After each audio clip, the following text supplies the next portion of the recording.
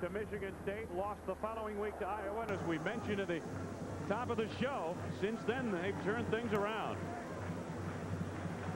Minnesota will receive J.D. Carlson getting set to kick it away. He's the junior out of Tallahassee, Florida. Leads the Big Ten in scoring. Ricky Foggie is the man in the middle, dropping back deep for Minnesota. Carlson hands it on the tee. We're about to get underway.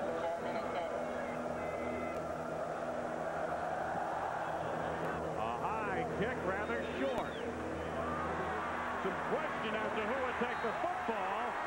Taken down by Bentley, a wide receiver, and he was nailed by Randy Stark. Marquel Fleetwood steps out of the field for the Golden Gophers of Minnesota. The Sears diehard starting lineups. Fleetwood who leads the way. Second leading rusher on this football team. Mark Smith leads the team in rushing. King is a solid fullback. Hopewell and Tingelhoff possession receivers. The tight end Evans has good size. They tried him at center a year ago. First down for the Gophers. Short of the 20 near the 18. Smith on the carry. Over to make the tackle Martin Davis with help from Tripp Welborne a gain of about four. The rest of the offensive starters for the Gophers of Minnesota. Chris Bohm on the offensive line at center. Very efficient. Hendrickson and Harrison have good size. Hendrickson's 290 pounds. Ballard is the best lineman on the field for Minnesota. Great feet, great size, improving every week. Second down for Minnesota.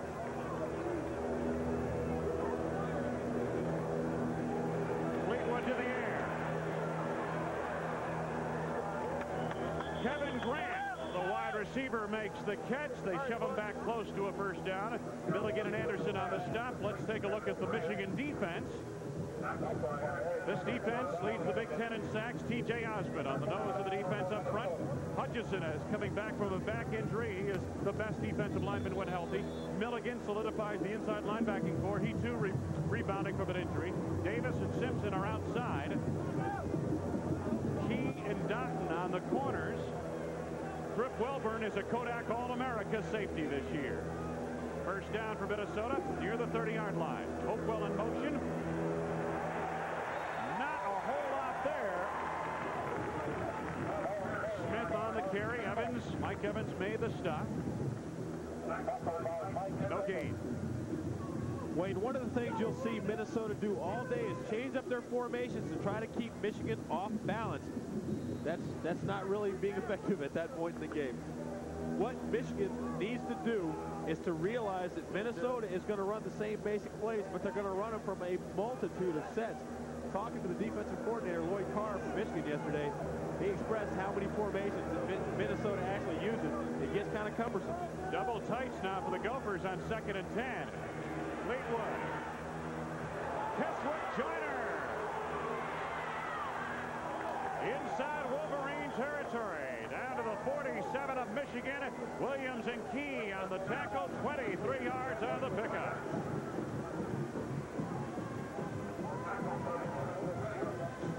We Joyner has some quickness, uh, Ben. And Wayne, the key to this play, Tripp Welborne, the strong safety, whose zone would normally be right there in the middle, was up on the line. You see Welborne coming in late in the picture.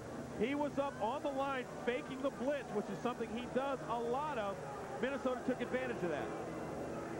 Wishbone formation on first down. Off the right side of the line. Inside the 45, down to about the 43-yard line. Looked to be a gain of maybe four. Anderson was there along with Osman. Anderson, eight tackles, three solo stops last week against Illinois. He is the leading tackler on the team. There, Marquel Fleetwood. They don't throw the football an awful lot, Ben, but he has been efficient for what they've asked him to do. Well, that's the key to the whole thing. You don't need to throw it a bunch. You just need to throw it well. Second down now. Fleetwood on the roll. This is what worries defensive coordinators. Fleetwood is close to a first down. Lance Dottin forced him out of the near side. Wayne, when you're coaching against a player like Marquel Fleetwood, you put in all your basic schemes, you have your entire package in there, but then Marquel Fleetwood breaks down the entire package by getting outside. Now the big part of this play, watch the pulling guard out front, number 61. Not a devastating block, but just enough to spring Fleetwood up into the secondary. And this guy, once he gets back there, is dangerous. Third down, less than a yard to go for Minnesota.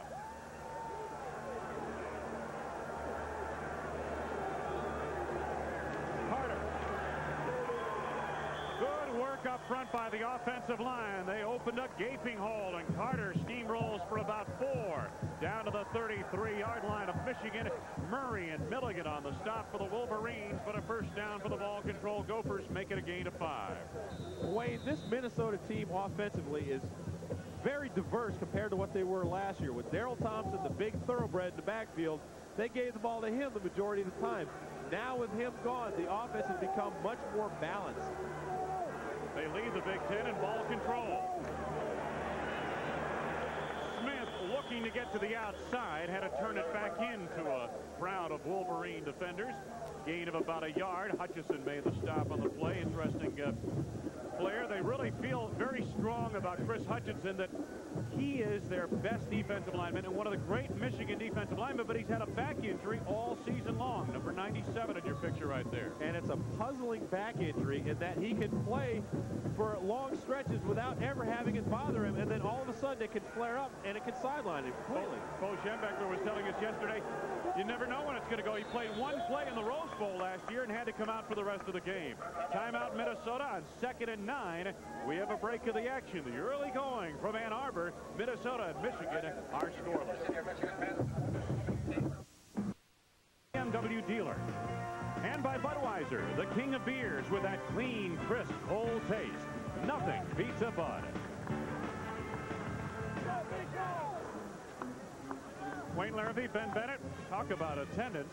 This is the place where they put 100,000 in here every week of the college football season that Michigan plays here. Today, the 97th straight game, they've been over 100,000. Michigan annually leading the country in attendance.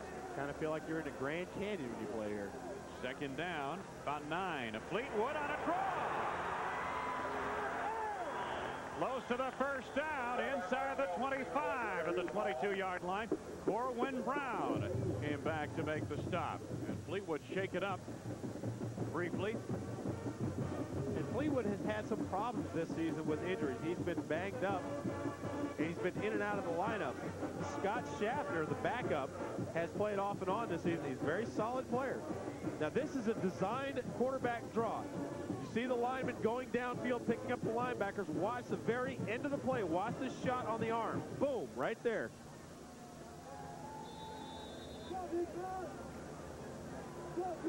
You can see the hit at the very end. He fumbles the football. Boom, right there. You can see his arm get kind of pinched in there. Scott Schaffner is out of quarterback. Mark Smith escapes for a moment.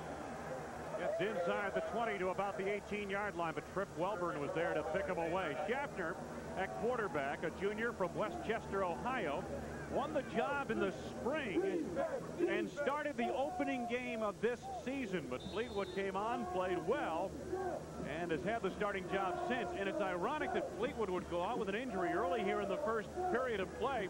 Last night, John Gutekunst, the head coach in Minnesota, was telling us that Marquel is as healthy as he's been in many weeks. Second down. Schaffner. Keswick Joyner had it for a moment, but so did David Key. Broke it up near the 10-yard line by the Michigan cornerback, and it is for Minnesota, third down. Early in a game, when you step off the sidelines to replace an injured QB, you're not always as warm as you would like to be. David Key almost makes Minnesota pay for the injury to Marquel Fleetwood. This is a guy, along with three other players in the secondary, that has started 34 consecutive games. These guys have got some experience. 73 of Minnesota's 147 first downs have come on third down calls. Schaffner not going to get one here. Good coverage downfield, and Martin Davis pursued from behind. He is fourth in the Big Ten in sacks, and he executes a sack right there, his sixth of the season.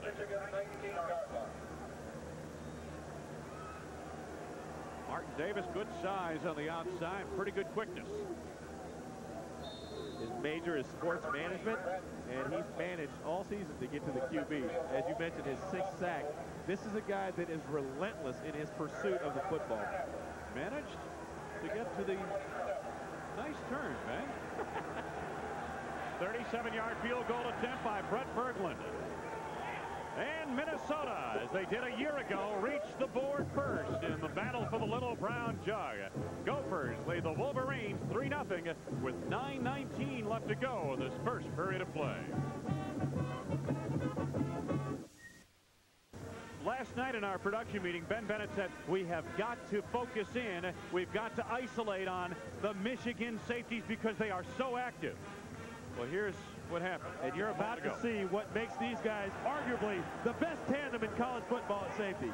Hustle, determination, and drive. Not to mention quickness. All right, here is the kick by Brett Berglund. A pop fly of a kick taken by one of the upbacks. McGee, the tight end, down on his knee near the 33-yard line, and that's where Michigan will put it in play first down. Marquel Fleetwood warming up on the sidelines. Went out of the game a moment ago with an injury. Brett Berglund's 37-yard field goal now has 50 points this season. His long was 59, and he put uh, Minnesota on the board, capping the drive. And again, Fleetwood, we're told, will return this afternoon. He missed the last two plays of that drive. Elvis Grbac at quarterback, sophomore from Willoughby Hills, Ohio. Grbac, Derrick Alexander. Penalty markers are down. Alexander goes down near the midfield marker. Jackson and Heath made the stop. A penalty marker down to the field. We'll start with the Sears diehard starting lineup for uh, Michigan. There is Elvis Grbac. Done an outstanding job as a sophomore. Vaughn leads the Big Ten in rushing. Bunch, a solid fullback. Alexander and Howard are sophomore receivers who've made some mistakes but have great potential and are excellent receivers right now. Dave Diebolt, good size at tight end. The center, Matt Elliott, has stepped in for the injured Steve Everitt, done an outstanding job. Dingman is a first-team Kodak All-America. Dohring and Skrepenak, Skrepenak 322 form the tackle positions.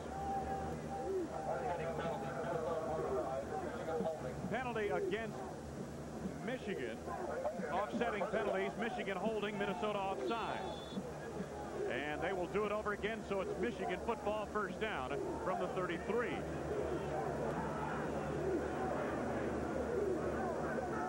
Double tights for the Wolverines. John Vaughn, another penalty marker down, and Vaughn gets out to the 35 on a gain of two. Sunbolt, who's playing with a broken hand, made the stop. Penalty marker down. Indication for offsides against Minnesota. Take a look at the Minnesota defense. They play the uh, stunt 4-3. Isaacson and Sunbolt inside. Both are tough on that nose. Williams and Skeeter Ockrey. Ockrey playing in place of Bryant. Anthony Bryant has returned home. His grandmother is ill. William Collins, freshman middle linebacker. Stats and Heath on the outsides. Fisher and Mays, the cornerbacks. And your safeties, Sean Lumpkin, will be all Big Ten when this season is over. First and five for Michigan. John Vaughn again gets the call, and it appears he has the first down on a gain of about six out to the 44-yard line. Isaacson made the stop. John Vaughn is playing with a tender ankle. His first five games, when healthy, look at his production in the last four games. And the, at the bottom, the difference. What he's done the first five in the last four games. Vaughn isn't getting the ball as much. Well, the difference there is the tender ankle he twisted in the Michigan State game. On first down, Grbac. Intended for Howard. A bit overthrown. Coverage provided by Derek Fisher in the secondary of the Gophers. when we talked with Gary Moeller yesterday, who doubles as head coach and offensive coordinator, he said that Michigan was going to have to throw the football a little bit more today, and I'm sure Elvis Grbac was happy to hear that. No huddle offense. John Vaughn. About 10 yards. Very close to the first down. Gopher territory near the 47-yard line. Frank Jackson of the secondary. Russ Heath from the linebacking court. Team up on the stop. Wayne, we mentioned at the top of the telecast, in the victory last week against Illinois, Michigan finally played Michigan football. They were tough on defense, they ran the football well, and they didn't make a lot of mistakes. That was important for this program. Ricky Powers in a tailback and place of Vaughn on first down. Make that third down. Powers gets the first down, but a penalty marker goes down. Ricky Powers, true freshman out of Akron, Ohio, had his best day last week. Rushed for 113 yards against the Fighting Illini of Illinois. And that's a good defense to get over 100 yards rushing on. Absolutely. When you when you rack up big yards against Illinois, you're doing something. Holding the call against Michigan. So this drive has been penalty plagued as Jerry Hendrickson, the Big Ten official, lets us know. There's John Gutekunst. Succeeded Lou Holtz at Minnesota and has had to reconstruct the program. Really, it's really had to put things together. And he's got a very young squad that given time to develop and mature in a couple of years going to be pretty good. He feels very confident that the players that he has now are going to be the foundation for a very good football team in the future. They're actually pretty good right now, Wayne. Three receivers in the game for Michigan with two running backs.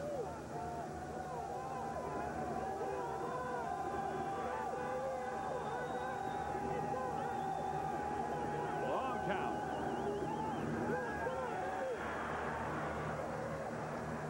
Intended for Alexander.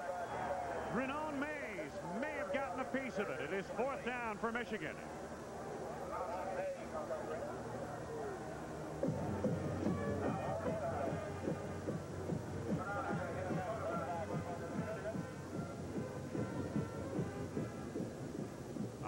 On and punt formation for the Wolverines. Eddie Azcona. Azcona out of Montreal, Quebec, Canada. Only six punts have been returned against Michigan. Grant slips by a defender and gets maybe two yards on the return out to about the 17-yard line. David Key made the stop on the play. Wayne Larrivee, Ben Bennett. We are in Ann Arbor, Michigan. The big house, Michigan Stadium, better than 100,000 on hand. Minnesota and Michigan doing battle for the little brown jug. Marquel Fleetwood back on. That's our sideline reporter, Brad Lefton, a Michigan graduate student, first-year graduate student. His major is Japanese studies with an emphasis on telecommunications. We'll hear from Brad a little bit later. They start in the bone to the Gophers from the 17. Carter to about the 20-yard line, gain of three. T.J. Osman made the stop on the interior portion of the Michigan defense. Wayne, yesterday when we talked about the loss of Daryl Thompson to the offensive coaches from Minnesota, they said even though we lost a great player, it may have made us a better team all around because now instead of having one workhorse, everybody in the offense has got to get involved. This is why they use so many different sets and give a defense so many different looks. Double tights in the game now for Minnesota on second down. King, a fullback in motion, Fleetwood optioning. At nowhere to option. Michigan with David Key supporting from the secondary and Neil Simpson in the linebacking corps pretty much snuffed it out. Loss of about two. Great running back here, Daryl Thompson, now with the Green Bay Packers. A great running back for Minnesota for four years. Look at what Minnesota did in the ground game with Thompson and what has happened this year without Thompson. Minnesota throws the football a little bit more. They obviously don't run as effectively. Thompson was a great All-American. This guy is a thoroughbred in every sense of the word. He was a stud duck. Third down and about nine now for Minnesota. Fleetwood.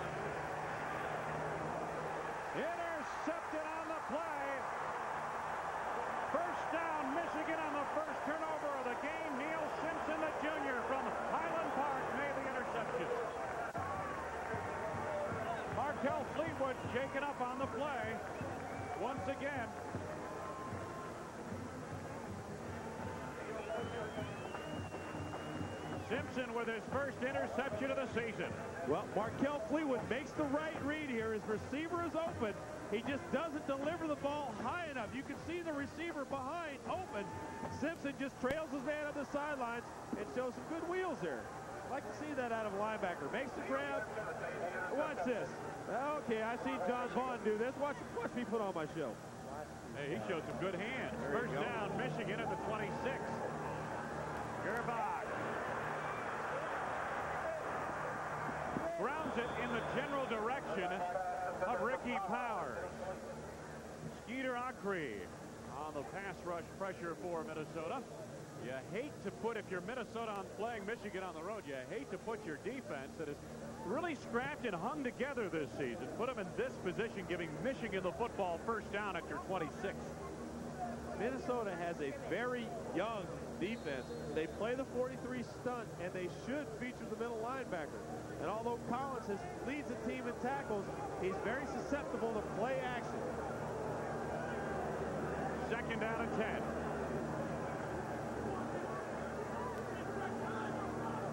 Grbac may be changing the play. Powers, good cutback move.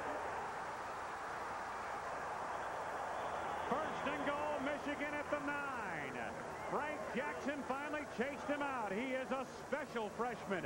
Ricky Powers out of Akron, Ohio. 17-yard gain. Getting more and more playing time each week, and this is one of the reasons he makes things happen. Sees the opening, makes a good cutback, reverses field completely. Let me tell you something. This kid is going to be a good doesn't have the right personnel in the game. He needs a timeout. Five minutes, 38 seconds left to go. First period. Minnesota has the lead, but Michigan is knocking on the door. Is Larrivee, Ben Bennett, Michigan. First down and goal to go situation at the Minnesota nine-yard line. Howard, the lone wide receiver. Jarrod Bunch, the rugged fullback inside the five, near the three-yard line, gain of about six yards. Andre Davis made the stop for the Golden Gophers. Michigan goes without a huddle. We've seen that a couple of times now in this drive.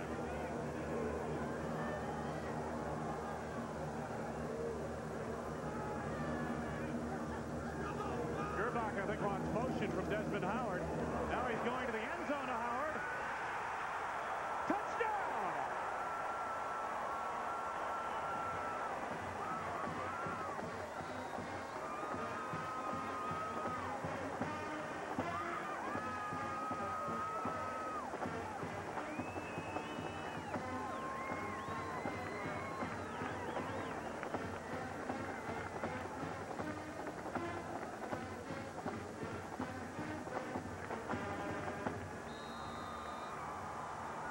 Carlson has made his last 63 point after touchdown attempts. Steve Everitt will be on the snap. Kent Solom will hold.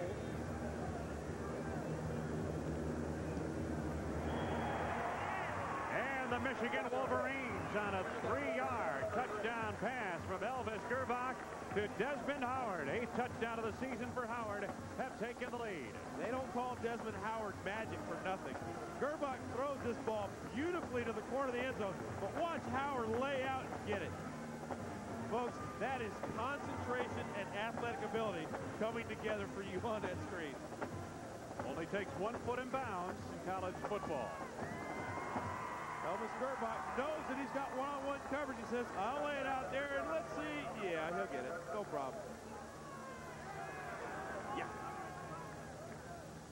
Folks, that's a great feeling. I, I got to tell you, there's not a lot of feelings like that in the world. To throw one up and know you maybe have thrown it a little bit too far and have an athlete with the capabilities of Desmond Howard go after it and pull it down.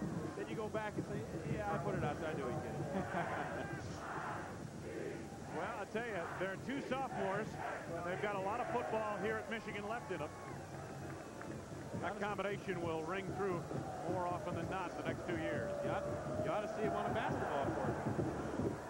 Kick carrying toward the far side. Karams out of bounds inside the 10-yard line. The penalty marker's down. They'll make him do it over again. Trying to keep it away from Fred Foggie. Foggie averaging 21.6 yards per return for Minnesota. He's the man who lines up in the middle. There's number four, Fred Foggie, his brother Ricky, we saw at the top of the show helped lead Minnesota to a victory here at Michigan back in 1986. His brother was a big-time player. This guy was a magician on the football field. I've seen films of him, and I saw him on TV one time. That guy could deal like any Vegas blackjack dealer. Michigan will try it again. 5.03 left to go. First period of play. And Foggie's the type of player, number four, that we had spoken about, that makes things happen. When he's in a football game, he's going to get his hands on the football somehow, and most of the times when he does, he makes something good happen to the guys in red. Fred Foggie back deep, now up around the 15-yard line. Ball on the tee. Carlson puts the toe to it.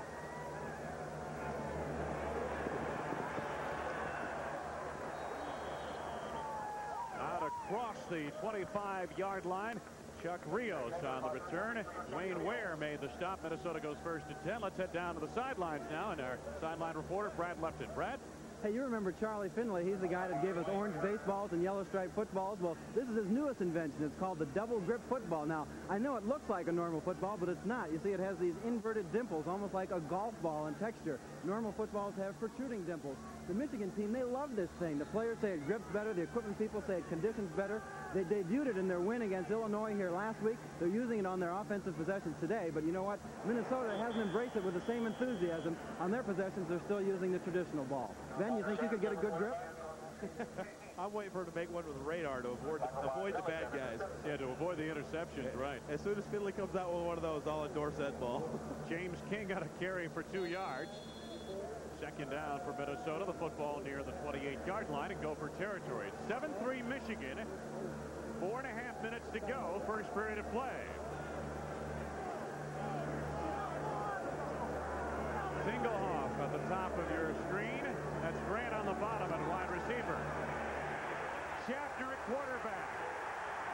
Deck for a loss by T.J. Osman. The ball came loose, but the officials ruled the play dead before the fumble. No fumble. Minnesota will have it at the 17. Let's head to the studio for our first update from Tim Brando. Tim? All right, Wayne, we're going to talk about the bluegrass right now. You know, that stadium, Commonwealth Stadium, where the grass is really brown. Well, right now, Kentucky is singing some blues for Florida. 9-7 score. The Wildcats scoring on Freddie Maggard's 73-yard screen to Al Baker. We'll keep a watchful eye on this one as well as the other games across the country as the day progresses. Well, Tim, as I'm sure you're aware, it's been a, a rough week down in bluegrass country with the death of Alydar and Northern Dancer this week. People take their horses seriously as well they should down in the bluegrass country of Kentucky. Tell you what, it's been a, it's been a rough year for horse racing. This is Foggie on a reverse. Out to about the 25-yard line. David Key recovered in the Michigan defense to make the stop along with Chris Ball. There is Fred Foggie. Fourth down for the Gophers.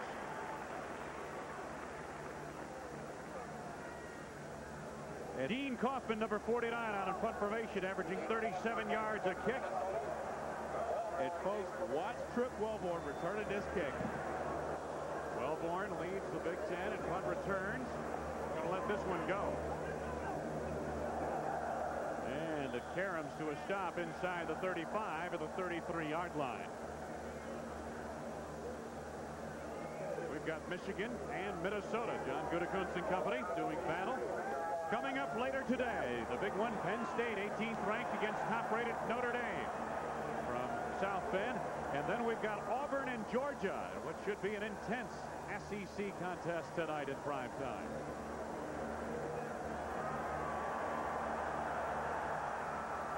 Now they're waving to you from the big house. But folks, when they start the wave here, trust me, it's a wave. Yes. this, this is what's known as a tsunami, short for the tidal wave. First down for the Wolverines. Grbac going to the air. A tough catch. Desmond Howard. First down near the 48-yard line of Minnesota.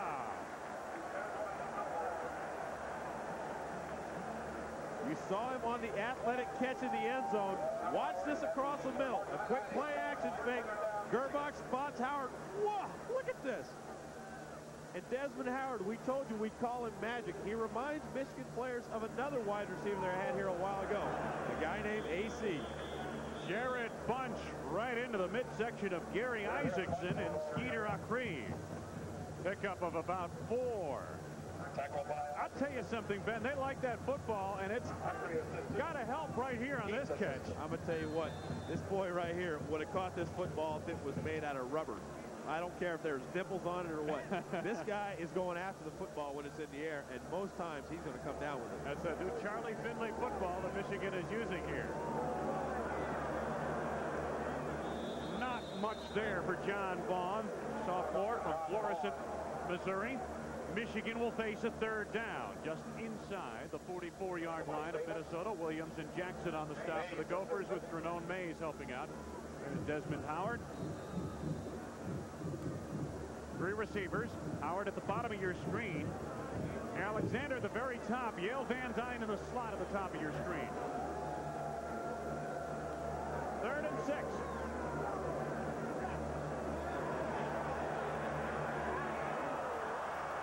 Little too high for Desmond Howard. He got his 5'9 frame up in the air, but just a bit overthrown. Wayne, when you say it's a little too high for Desmond Howard, it is a little too high. This is a guy that at 5'9 has a 39-inch vertical.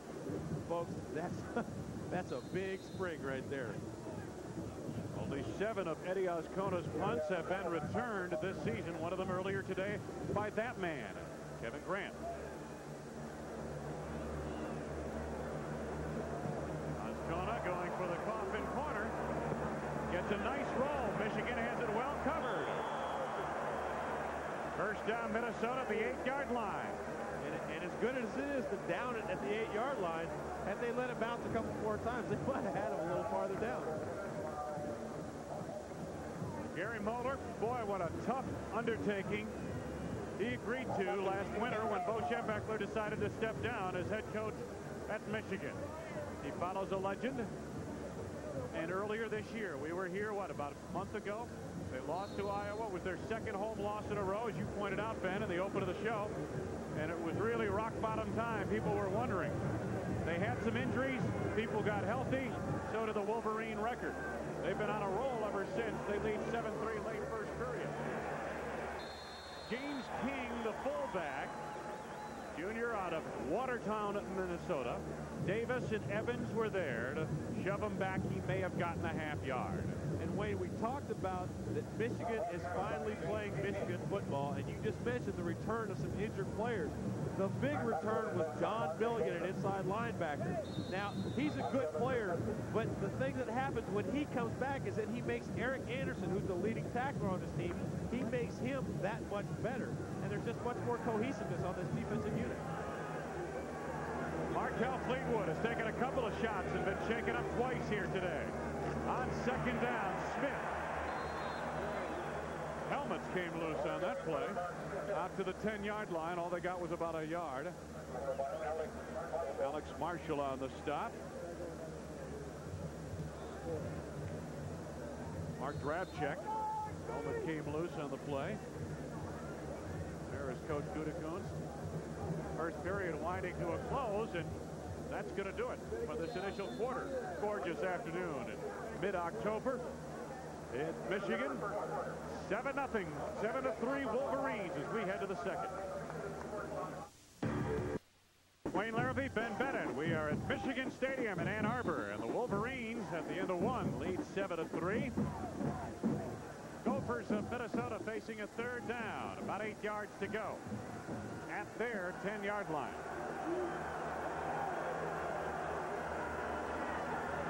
Play one.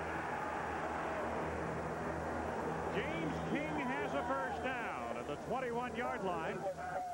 Chased out of bounds by uh, Tripp Welborne and Martin Davis. There's a drop check I mentioned a moment ago. Mark Dropchak, the offensive line, had his helmet knocked loose earlier. Folks, you want to talk about conditioned intensity. Helmets off, hey, I don't care. I'm supposed to block this guy. I'm going to knock him around as best I can. Helmet or no. Rob Dropchak's a senior out of Minneapolis, Minnesota.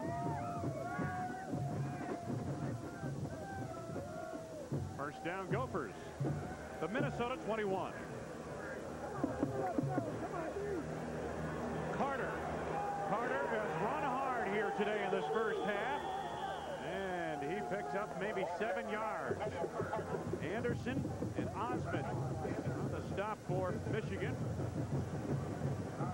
Minnesota band made the trip over from Minneapolis. Wade, to this point in the game, Minnesota, with the exception of the turnover, has played the type of football they want to. They've run the football well. Where they've had to throw it, they've thrown it short. They've completed some of them. They just haven't made the big play yet. Somebody's got to step up and say, it's time to get something going. Chuck Rios, the lone setback. Fleetwood on an option. To about the 31, maybe the 32-yard line. He's close to the first down. Vada Murray made the stop. Coming up on new time for NFL Game Day this week. Special time, 11.30 a.m. Eastern Time. And, of course, Game Day to be followed by Prime Time. Get you caught up to date on what's happening in the NFL. And then tomorrow night, this is going to be a good game. Pittsburgh's defense, I think overall this year, one of the best. I don't care where it ranks statistically. It's one of the best, one of the toughest in the NFL. Boomer Esiason at Cincinnati have been struggling. That game is for first place in the AFC Central Division. And Wayne, a battle between Bubby and Boomer. Who would have ever thunk it? Third and short, and it looks like Marquel Fleetwood has picked up the first down going over the right shoulder of his center, Chris Thome. What the Gophers want to do today, Ben, is, is exercise some ball control, not make mistakes. Now, they gave up a touchdown on a short 26-yard drive following an interception in the first period of play. But aside from that, they've been able to execute their game plan for the most part. And the key to the whole thing for Minnesota is to keep their defense off the field. They're young and they're small in comparison to the Michigan offensive line. That's the big key today.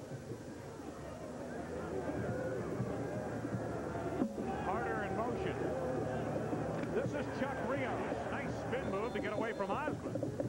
And he's got about two yards. Osman, the principal defender. And, of course, we're getting to that time of year when you start thinking Heisman Trophy. Who is your Heisman candidate? You want to register a, a vote, call 1-900-786-2255. 95 cents per call. Who's your pick, Wayne? Boy, of that group, I like either Bieniemy or Shawn Moore. I could go with either one. You know, everybody at this point thinks Rocky Is Ismail is the favorite. I think you got to pick Shawn Moore. He's number one in the country in passing efficiency. He's just done it all. He's run for a bunch of yards and a bunch of touchdowns. I think he's the best all-around player in the country. Fleetwood off play action, penalty marker down. Fleetwood had his big tight end open on the play. Pat Evans Pass thrown behind Evans. Penalty marker down near the offensive line. It might be for holding.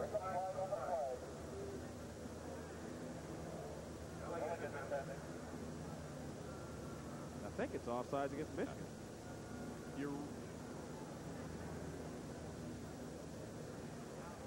Chop block against Minnesota is the preliminary indication.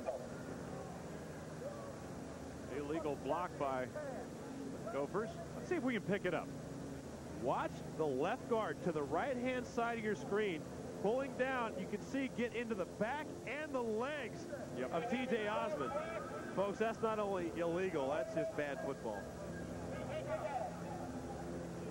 In the interior line from five yard from tackle to tackle, you're allowed to hit somebody in the back if they have their back turned to you, and it's not a clip.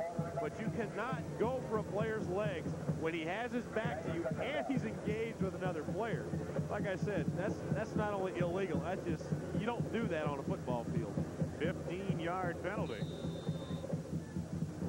And it is a second down and long yardage situation for Minnesota, the kind of situation the Gopher offense cannot afford to be in. Don't have the real big play players on the perimeter of their offense to get them out of a hole like this. Hartwell in motion. Second down. Shovel feed. Ahead to Rios. And Rios gets some of it back. A gain of about eight yards. Milligan and Davis on the tackle along with Welborne. Not the prettiest pass in the world, but this goes down as a completion. He drops back, looks for his fullback, and just pushes it to him. And you see Rios, the freshman, get up in there and get some of that yardage back that they lost on the penalty. Fleetwood had a rough afternoon thus far physically. Shaken up a couple of times. Runs the option well, although he was not a pure option quarterback in high school. That was the point the coaches made with us last night. They didn't necessarily run an option in high school. Ran a regular offense. But he has adapted well to the option. Calls for a timeout here with 11-16 left to go in a first half that has Michigan on top. ESPN's college football, Minnesota and Michigan, is brought to you by McDonald's. You know the one. It's McDonald's for food, folks, and fun. And by Thrifty Car Rental, because it's your money. Call 1-800-4CARS or your travel consultant. Wayne Larrivee, Ben Bennett, third down for Minnesota. They screen it out. This is Carter.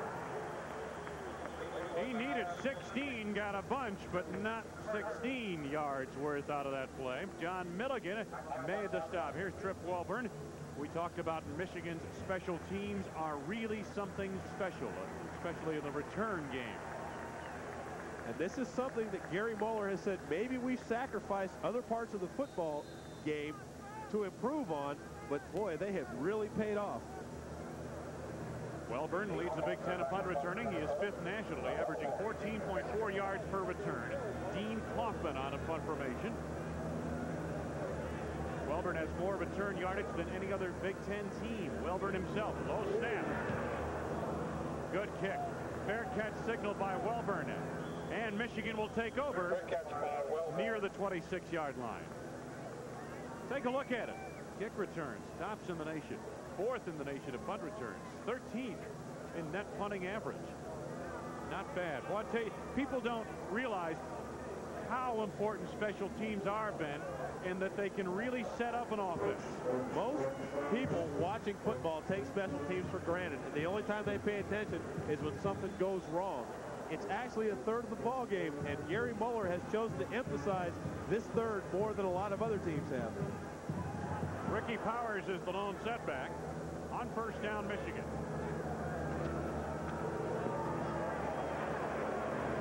Good quick move he cut it back off the right side of the offensive line and Powers out to about the 33-yard line. Gain of appears to be six. Stats, Davis, and Mertz made the stop for Minnesota. And Powers just become the third true freshman, I'm talking true freshman, not redshirt freshman, in Michigan history to rush for 400 yards. Second down. Powers Jarrod Bunch the fullback. And he is stacked up on the play. Good coverage that time by the Minnesota defensive front. This is the second year Minnesota has run the Michigan State style of defense, the stunt 4-3. Sunvold and Jackson make the stop. And they tell me it really took George Perles a couple of years, even George Perles, the master of that defense, to put it in and uh, get it to the point where the kids really understood what they were doing up at Michigan State. It's a learning process for both the players and the coaches. Third down, about three for Michigan.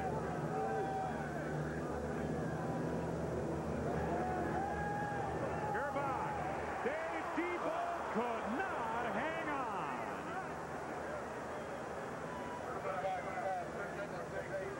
He may have had some trouble picking that ball up in the sun, but that's one I know Mr. Debo would like to have back. Grant drops back deep for Minnesota. Kevin Grant averaging 16 yards per punt return. Eddie Azcona once again for Michigan. Punt formation. Ball hits across the 40. Wolverines have it covered, and Azcona's going to pad his average on the roll. Down to about the 28-yard line where the Gophers will put it in play. First and 10. 8.53 left to go the first half. At BASF, we Wayne Larrivee, Ben Bennett, and about a 100,000 plus on hand. Some young, some old. There's a youngster right there. Well, we haven't had a, an exciting first half thus far, Ben Bennett, but uh, I wouldn't go to sleep on this game yet. Oh, absolutely. These are two very good football teams, very well coached and very talented, doing exactly what they've worked at all week. They're running the football well. They're playing solid defense. First down for the Golden Gophers at the 28-yard line, Minnesota territory. Lots of motion right now, Minnesota offense. Mark Smith out to the 30, maybe a little bit farther. Let's head back to the studio. Tim Brando. All right, Virginia and quarterback Shawn Moore. Watch a little chicanery here. Brian Satola will actually throw the ball to Derek Dooley. And UVA takes a 21-7 lead in the second quarter. Oh, by the way, Wayne Larrivee, tell your partner Ben Bennett that his ACC TV pass record is still alive, but only for now. You know, Tim, we were talking about the fact that uh, Ben's records are falling uh, faster than the temperature here in Michigan. And it's like people are taking personal personal ple- pleasure in erasing my name from the record book. Second down, Fleetwood is overwhelmed. Second sack of the game for the Wolverine defense, Marshall and Hutchinson. We talked about Hutchinson and his ability at the top of the show. Look at him right here. Just beats a double team, gets in there, and this guy is the type of football player that even if he didn't know what the defense was, he'd still be a good player because he has great football instincts. He has a tremendous awareness for what's going on around him and how to be in the right place at the right time and do what needs to be done. Third down and 19 yards to go now. Three receivers at the bottom of your screen. That's Foggie in motion. Fleetwood trying to get it out to the flat. Foggie drops it. There's a penalty marker down on the far side.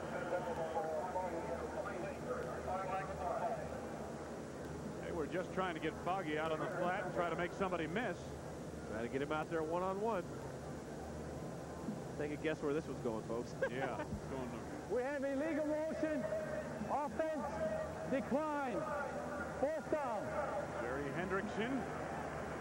I'll tell you, John Gutekunst mentioned it. I said it earlier. Minnesota has to stay on schedule offensively. They cannot get themselves into third down and long yardage situations because they just don't have the kind of people that are going to break it open against this uh, Michigan defense. Confirmation time. Dean Kaufman.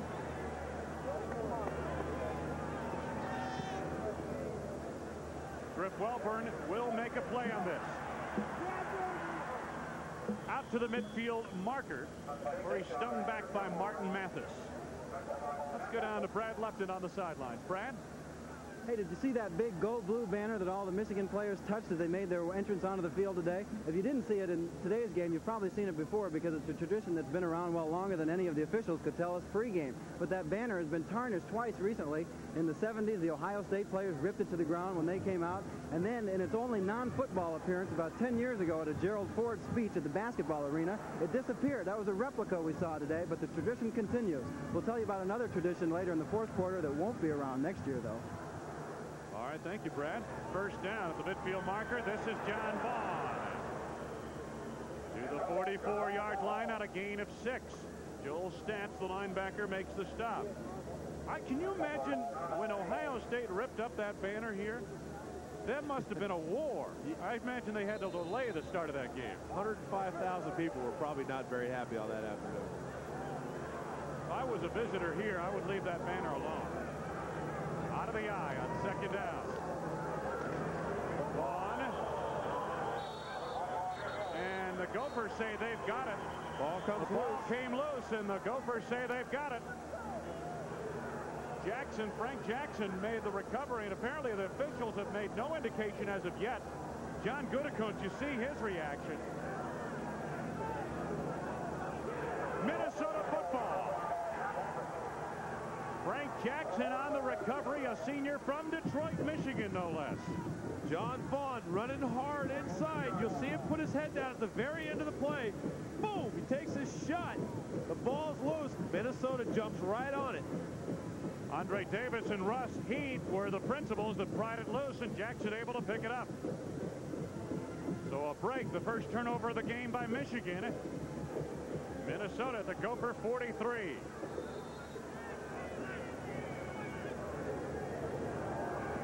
Mark Smith, the lone setback. Smith gets the call. Big hole. Smith to the sidelines. Out of bounds near the 14-yard line of Michigan. Tripp Welborne and Vada Murray. 43-yard gain, and Ben Bennett, that was a well-executed play up front of the offensive line. This play was made popular by the Redskins. Called counter trade. Watch both offside linemen pull and clear the way. Smith with good speed switches the ball to his outside arm. He's just going for what he can get. The two All-Americans, Vada Murray and Tripp Welborne, have to run him down. But if you're Minnesota, this is what you want to do. You force a turnover. Now you've got to capitalize because as big a difference as it makes on the scoreboard, it makes a tremendous difference in the swing of momentum. Sideline warning against Minnesota. Some exuberance on the Gopher bench. Obviously, that a big play, 43-yard running play, is the longest uh, running play from scrimmage the Gophers have had this season. Now the wishbone look in the backfield. They mark it to the 15-yard line of Michigan. Minnesota is trailing by four. Gerald Moore, a tight end, is split out top. The middle with Smith. Inside the 10 to about the 9-yard line on a gain of six. Evans made the stop. Can't emphasize enough the work up front on that Minnesota offensive line and running down situations has been exemplary. They are running the football well, and it's really amazing. This is what they've done in the past years, but if you look at this statistic, Minnesota has 417 carries for 1,252 yards. Jon Vaughn alone for Minnesota has rushed for 1,208 yards. Second down. Make that Rios. Chuck Rios, not a whole lot there. Milligan and Marshall filled well for Michigan. He got maybe a yard. Now it is third down for Minnesota. Wait, we saw the graphic earlier how well Minnesota has run the ball in the past couple of seasons with Darrell Thompson. Now they're starting to run the football well against a very large and very experienced Michigan defense. This is what they need to do to take some of the pressure off of Fleetwood. The better they run, the better he'll be. Double tights, quick count. Rios stuffed back, but he has a first and goal just inside the five. Man, he was really popped for when Brown came in along with Eric Anderson. Brown from the secondary, a cornerback. Anderson of the linebacking corps. First and goal for the Gophers. 4.45 to go in this first half of play. A big 43-yard run by Mark Smith following a fumble recovery by Frank Jackson has set Minnesota up on the door, looking for their first touchdown of the game.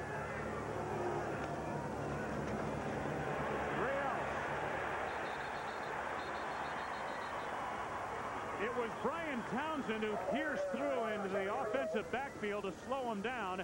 Milligan and Welborne put him away. Watch Welborne, the All-American safety, come up and fill. Boom! Let me tell you, folks, this guy plays well on Saturdays. His career's not done after this season. You're going to see this fellow playing a lot of football on Sunday somewhere. He will probably be a free safety because of his size and his speed. But right now, he's playing some tough, strong safety for Michigan. Second and goal to go for the Gophers at the Michigan 5. King in motion. Fleetwood on the option.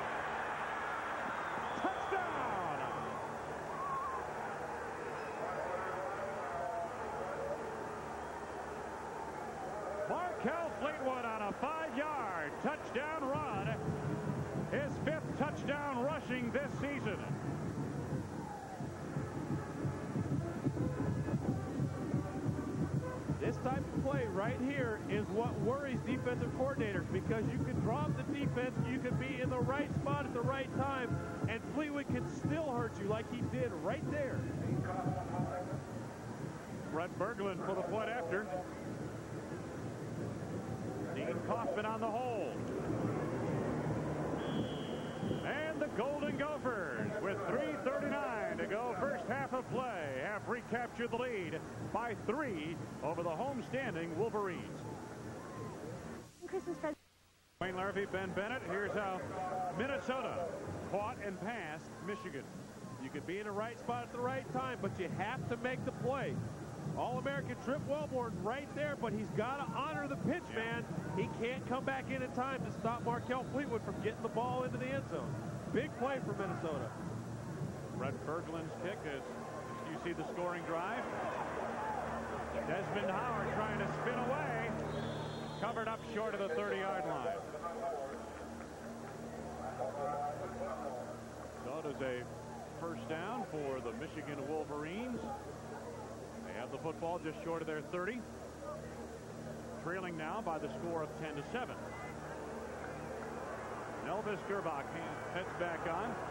Second all-time Michigan career passing percentage leader at about 59.9%. Second to Jim Harbaugh. Alexander in motion. Ricky Powers. Not a bad read. They had it stacked up to the short side of the field pretty well, and he cut in behind his blockers to gain about four yards. Andre Davis, John, Mike Sunvold team up on the stop. Wayne, one of the interesting things that Michigan is doing is they're running the no-huddle offense, but they're substituting players and they're calling plays at the line. Normally you run the no-huddle to keep the defense, the personnel that you want on the field, to keep them on the field. Michigan's not really doing that.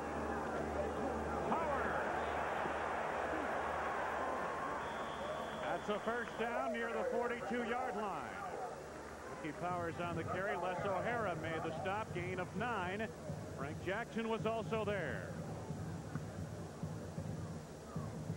Minnesota scored first. There's a look at Powers' work. Minnesota led 3-0. Michigan scored late in the first period of play to take a 7-3 lead on a touchdown drive. Minnesota came back off a turnover to drive in for a score. Grbac. Desmond Howard. Drenone On the stop. They're going to mark it near the 46 first down Wolverines in Gopher territory. Let's head back to the studio and Tim Brando. Wayne, a couple of shutouts being thrown. First in the Ivy League, the Eli's up 17 to nothing in the 107th meeting between these two dating back to 1875. And Georgia Tech, Bobby Ross's club keeping uh, the roll alive, beating Wake Forest 21 to nothing. Tech going for their first title since the SEC crown in 52. Ricky Powers. Another first down for the freshman. Joel Stats makes the stop. You've got Jon Vaughn, when he's healthy, leads the nation in rushing. And now you've got Ricky Powers coming up. You're going to need more than one football for these two guys. Going to tell you what, these guys flat run the football. But again, as good as they are at running back, credit the offensive line. Dingman, the All-American, Dohring, Elliott, Cocozzo, and Skrepenak. These guys are opening the holes for them to run through. 14 yards on the previous play from the 32 of Minnesota. Michigan trying to take charge. Powers again. Out of the 25-yard line. Gain of about seven. Stats Sunvold made the stop. Michigan very young at the skill position. All freshmen and sophomores. But that veteran offensive line, watch them work. You want to see what Michigan football is all about? Look at the size of the holes that these guys are opening up. And let me tell you something about Dingman. You just saw him there at the end of your picture. This is a guy that takes great pride in opening those holes. Jarrod Bunch running hard. Will not go down until he has a first down inside the Minnesota 20 near the 19. Jackson and Isaacson make the stop, and there is Dean Dingman, named yesterday first team Kodak All-American. And what a great story this guy is. You don't think this guy wants to be the best that he can be? What does he do after a long, hard game? He goes into the weight room and does squats. Wow. Dedication. First down from the 19. It's going to pay off for him, too. Grbac, quick toss, dropped by Derrick Alexander in the flat underneath the coverage of Drenone Mays. Minute 12 to go in this first half of play. Minnesota leading by three. I'll tell you something. Uh, these young receivers, Alexander and Howard, both sophomore receivers, they've made some mistakes over the course of this season before. They have tremendous potential and now great experience for the future. And when they make a mistake, boy, they make up for it in a big way, whether it's kickoff returns or receptions, reverses. Powers. Gophers strung it out well. Out in front of the plate, Joel Stats, Sean Lumpkin filled from his secondary spot. A couple of players tangled up, and I believe Michigan's going to want to stop the clock with one minute straight up to go. First half of play. Wolverines talk it over. They trail by three.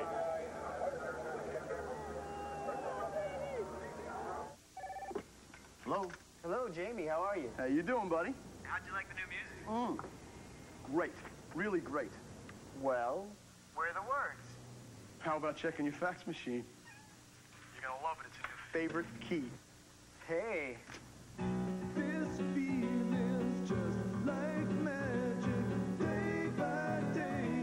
Day. Dex Facsimile, one of a wide range of business communication solutions from Fujitsu, the global computer and communications company.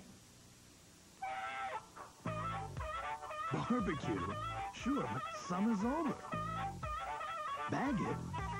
McDonald's? Hey, McRib. All right. You know, I sure could go for some, yeah, fries and a Coke with that.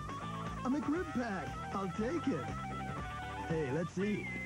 Oops, better do it now, huh? Mmm, McRib. McDonald's? folks about the chomp. A little brains, a little luck, and a lot of late nights. A good family, a good spot, and some good advice. That's the way it's supposed to be. The USF&G is standing behind me. That's the way it's supposed to be. And USF&G is standing behind me.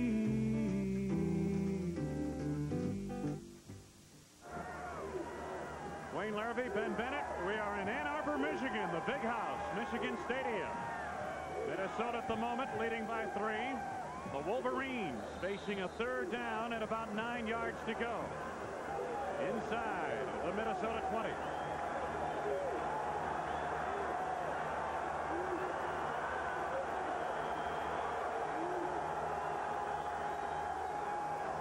Grbac. Down he goes. Andre Davis, the linebacker. Big play for that Minnesota defense. It forces J.D. Carlson into a field goal situation. Grbac barely has time to before Davis gets on. You can see his feet never get set. Comes in and smothers him. This will be a 42-yard field goal attempt by J.D. Carlson. He is 2 of 5 from this range this season. Out of the hole of Kent Solon. Steve Everitt on the snap. No good. Pulled it to the near side. 12 seconds left to go in this first half of play, and Minnesota has withstood a furious Michigan rush on that drive. The Wolverines up front were literally blowing the Gophers off the line. And how big will that sack be later on in the game? Michigan, only down three, has a chance to go in, pick up a first down, and go in for the score before the half. Davis comes up with the big sack. You never know which play is going to be the turning point in the game. But every season, coaches will go back and say, you know, this one play was the big play in that game. This one play was a big big play in that game. And you never know what play that's going to be, so that's why you hear coaches always telling you, hustle on every play like it's your last. Minnesota, 12 seconds left to go first half. Smith going to kill the clock with about a seven-yard gain out across the 30-yard line. As time winds down, in this first half. They head to the locker room. The Gophers have to be happy where they're at right. We're born in California. This is downright cold for you, and it's about 40 some degrees. I'm looking for where they're hanging the meat right now, boy. Michigan will receive. There's Brett Berglund, kicker number three for Minnesota. 21, Desmond Howard. Derrick Alexander, number one on the right side of your screen back deep. Both are dangerous. Howard averaging 33 yards. Alexander 27 yards per return. Berglund has tried to put a lot of height into his kicks today, going for a shorter kick, but a high kick to minimize the return.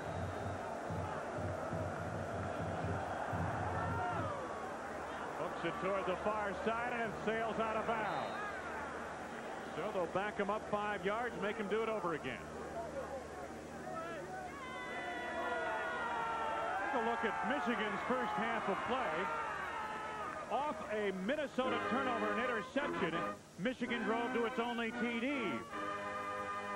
And they had an opportunity on a field goal try late in the first half of play, but came away empty as that kick was pulled toward the far side by, or toward, toward our near side by J.D. Carlson. Otherwise, Minnesota has pretty much contained the Michigan offense. Well, the key stat that you mentioned, Wayne, was time of possession. Minnesota wanted to keep their offense on the field and Michigan's offense off the field. To this point, they've done that effectively. How well they do that in the second half will be the key to who comes out on top of this game. Last week, Michigan played with great emotion in the second half against Illinois. This is an emotional day for the Michigan football program. It's Seniors Day, their final home game in Michigan Stadium. We'll see how they come out of the second half. Howard. Good cutback. Desmond Howard out across the 45 of Michigan to the Wolverine 47. Brett Foggie and Derek On the tackle. Wayne, you saw two things on that kick. One, you saw why Minnesota's been kicking the ball high because they wanted to keep it out of this man's hands. But the second thing you saw is why he's first nationally at kickoff returns, averaging 33 yards a return. This guy can wiggle for some yards. Elvis Grbac, three of nine, 34 yards passing at a touchdown to the first half of play. First and 10. Ricky Powers off the play action, and Grbac comes up fired. Play action to Powers, and Grbac hit his man at Desmond Howard on the far side of the 45-yard line, gain of about nine. Mays and Heath were there defensively. When you've got speed like Desmond Howard, you have to honor him deep. The cushion is given to him. Now watch after he makes the catch. He's in the air and still slipping a tackle. Before he even got to the ground, he was trying to get away from somebody. On second down, here's Powers. Boy, good force by Fisher from the secondary. Derek Fisher, and they strung it out well in the linebacking corps and along the defensive line. A loss of two. And the Wolverines now face a third down and almost four yards to go. Derek Fisher at 5 foot 9, 182 pounds. If you're not going to be big, boy, you got to be brave. You saw him, his ability to put his nose on a ball carrier right there. He's made some big plays for Minnesota this year. Three receivers in the game. Alexander and Van Dyne to the top of your screen. Howard on the bottom. Third down about three and a half. That's Van Dyne in motion. Ricky Powers. Not nearly enough. Ben Williams and Joel Stats respond. Did you see Ben Williams? Listen little dance at the end of that deck, And listen to the Boo Birds. That's actually a very good call at midfield. Michigan runs the football as well as anybody in the country. Powers has been running the football extremely well today. That's not a bad call. It just didn't come up in their favor. Eddie Azcona, has worked today. John Lumpkin is back deep in single safety to receive this punt. Azcona gets it to turnover. Wolverines have it covered.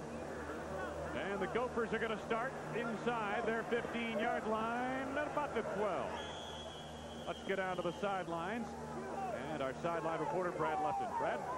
100,000 people here. You think this isn't a romantic atmosphere? Let me let you in on a secret. You see, in section 39, there's a Dr. David Farlow with his girlfriend, possibly soon-to-be fiancee Laura. You see, he's going to have a banner fly overhead sometime in the third quarter with his wedding proposal to her. Now, he's paid 175 bucks to Gary's banner service to fly this thing, and they told him they've never had a refusal. Well, I'll keep my eye on it. Wayne and Ben, I'll let you uh, handle the football. He's a doctor? Chuck Woolery down there on the sidelines. The love connection. She'll say yes. Smith covered up in the middle of the Michigan defense. No gain. Mike Evans, the junior from Roxbury, Massachusetts, made the tackle on the play, leads the Big Ten in tackles for losses. That, well, technically, maybe a loss of a half yard. Mark it down as a tackle for loss. Loss of one, second and 11. Wait, I hear it played.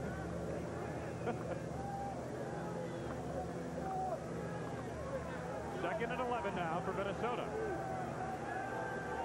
Marquel Fleetwood.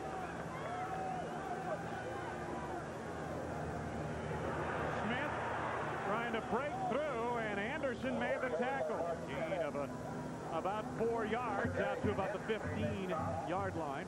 First half possession, Minnesota drove 63 yards to a field goal. Then the interception which set up Michigan's touchdown. A couple of stall drives, actually a few stall drives, till Minnesota went 43 yards following a Michigan turnover to its only touchdown of the first half. And coaches will tell you, turnovers are what hurts you the most in any football game. Each team has capitalized on the other's turnover so far. Third down and seven. Foggie. Not nearly enough for the first down. David Key stayed home and made the play. Take this opportunity to correct ourselves on Fred Foggie. We said he was the brother of former Minnesota quarterback Ricky Foggie, the all-time offense leader for the Gophers. He is the cousin, not the brother, of Ricky Foggie, but he has a lot of Ricky Foggie's athletic ability. Yes, he does. Rick Welborne back deep in single safety. Dean Kaufman in punt formation. Welborne at the midfield marker. Michigan's going to get great field position. Down the sidelines. Boy, when that happens, it's almost like a turnover. The Wolverines will start at the Gopher 20. They trail by three with 10.57 to go in the third. In financial matters, as in life, everybody's different. Different needs. College football, Minnesota and Michigan, is brought to you by Buick and your Buick dealers. Buick, the new symbol for quality in America. And by Amtrak, with over 500 destinations nationwide for you to choose from. Wayne Larrivee, Ben Bennett, better than 100,000 on hand at Michigan Stadium in Ann Arbor. 10.57 left to go. Third period of play. That's our story. Michigan has it now first down off a punt return by Tripp Welborne at the 20-yard line of Minnesota. Jarrod Bunch, the fullback, is stacked up in the middle of the line. You know, the toughest play to run, it appears to me, after watching Michigan State all these years and now watching Minnesota today, is that fullback dive up the middle against the stunt 4-3. Here's the end of the punt return. Tripp Welborne taken out of bounds and may have suffered a leg injury here. This is a big play for Michigan for more than one reason. It was a great punt return and put them in good field position, but I think they would rather give up the field position and have Tripp Welborne back in the football game. Second down at about 10. Howard.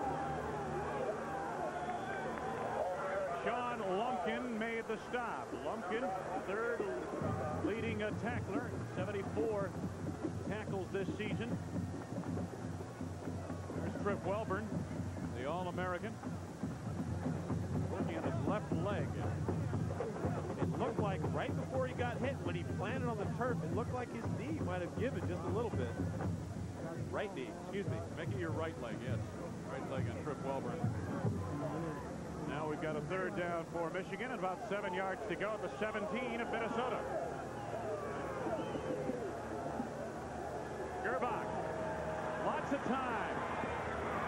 Desmond Howard very close to the first down at the 11-yard line of Minnesota. Andre Davis right there. Ah, the coverage and the tackle. Yeah, they spotted down. Maybe close enough for a measurement or not? Nope, they're going to motion first down, I believe. They're bringing it, bringing yeah, they're bringing the change. You're right. They're going to bring the sticks out. All right, wait. finger pointing going on. Uh, I'm going to go out on a limb and say they missed it by three inches. You have a uh, a window of uh, one inch on either side of that. They got it by the length of the football. See what I told you? Three inches. Why I'm a highly highly paid professional, boy. As you always say, don't try these things at home. uh, I'm good, aren't I? Well, I tell you what. All right, the football just outside the 10-yard line. Yes, Michigan could pick up a first down without scoring a touchdown. But that would almost be hard to do. They'd be only a, an inch or two away from the end zone if they do that. I, will say they'd be three inches away. okay. First 10 and 10 for Michigan.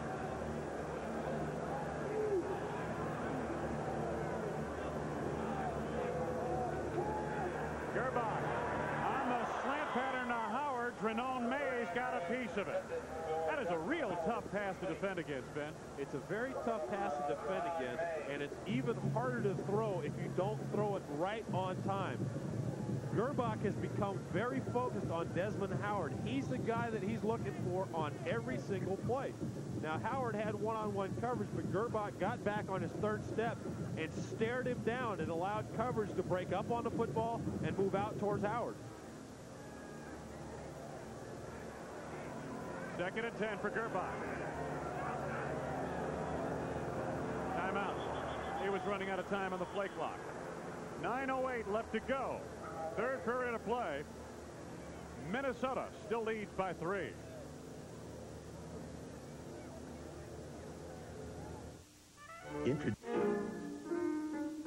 We're at Michigan Stadium. Wayne Larrivee, Ben Bennett. That scoreboard tells you all you need to know at the moment.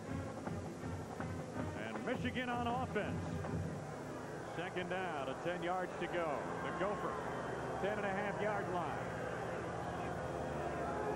Grbac screens it out. Jarrod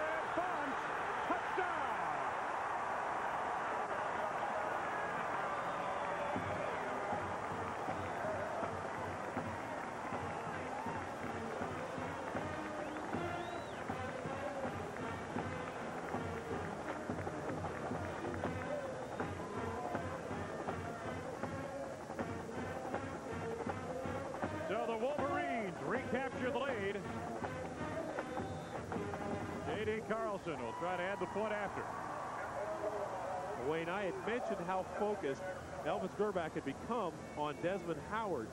Minnesota's defense realized that, felt the same way, and had rotated their defense into double coverage on Howard, which left Bunch wide open.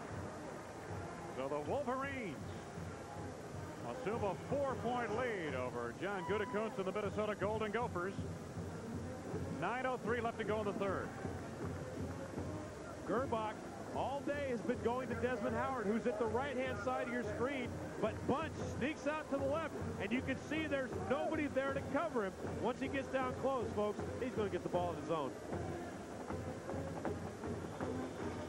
Weak side corner blitz from Fisher. You see Fisher was responsible for Bunch. He ran right by him on the stunt. Bunch caught the football, ran into the end zone. Jarrod Bunch coming off his biggest day of the season against Illinois, rushing the football for 77 yards and 13 carries. He scores the second uh, Michigan touchdown here this afternoon. Here's Tripp Welborne. He was injured on a punt return that set up that drive. And we are told will not return to the ball game, obviously. And there's Jarrod Bunch. J.D. Carlson set to restart the game.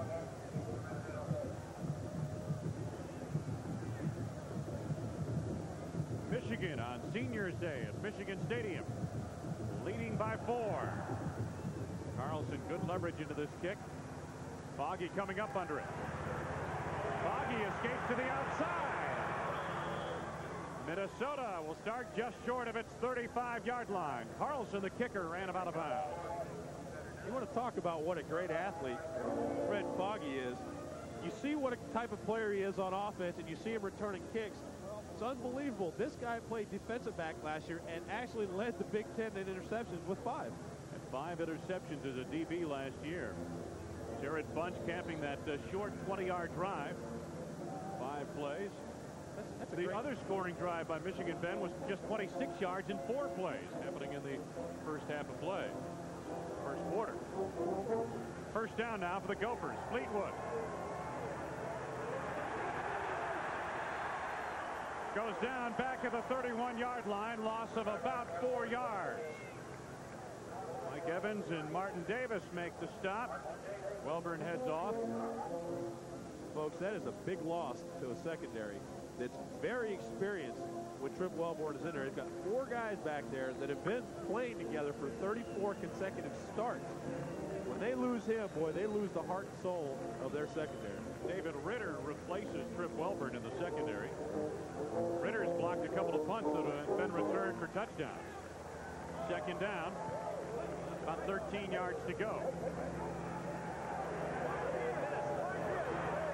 This is Smith, and he is nailed by Anderson, the linebacker. Look at the emotion by the Wolverines.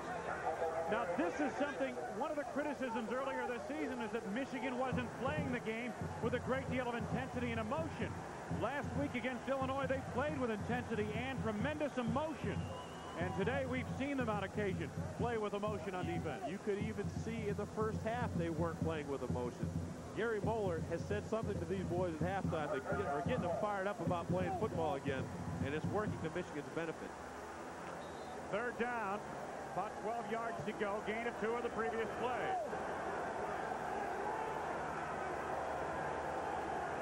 Minnesota, 50% on third down. They lead the Big Ten in that statistic. Fleetwood, penalty marker is down. The offensive backfield, Fleetwood goes down short of the first down. Chris Bone made the stop. Might be for holding against Minnesota. Holding the call against the Gophers will be turned down by the Wolverines. It would force a Minnesota punt.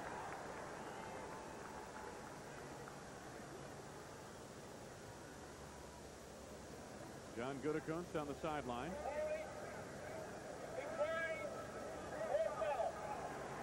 Fourth down for the Golden Gophers. Coach Gutekunst pacing anxiously now. His team led by three at halftime. They trail by four. Howard back deep in place of Tripp Welborne, the injured Tripp Welborne. Dean Kaufman. Fourth down and about seven yards to go.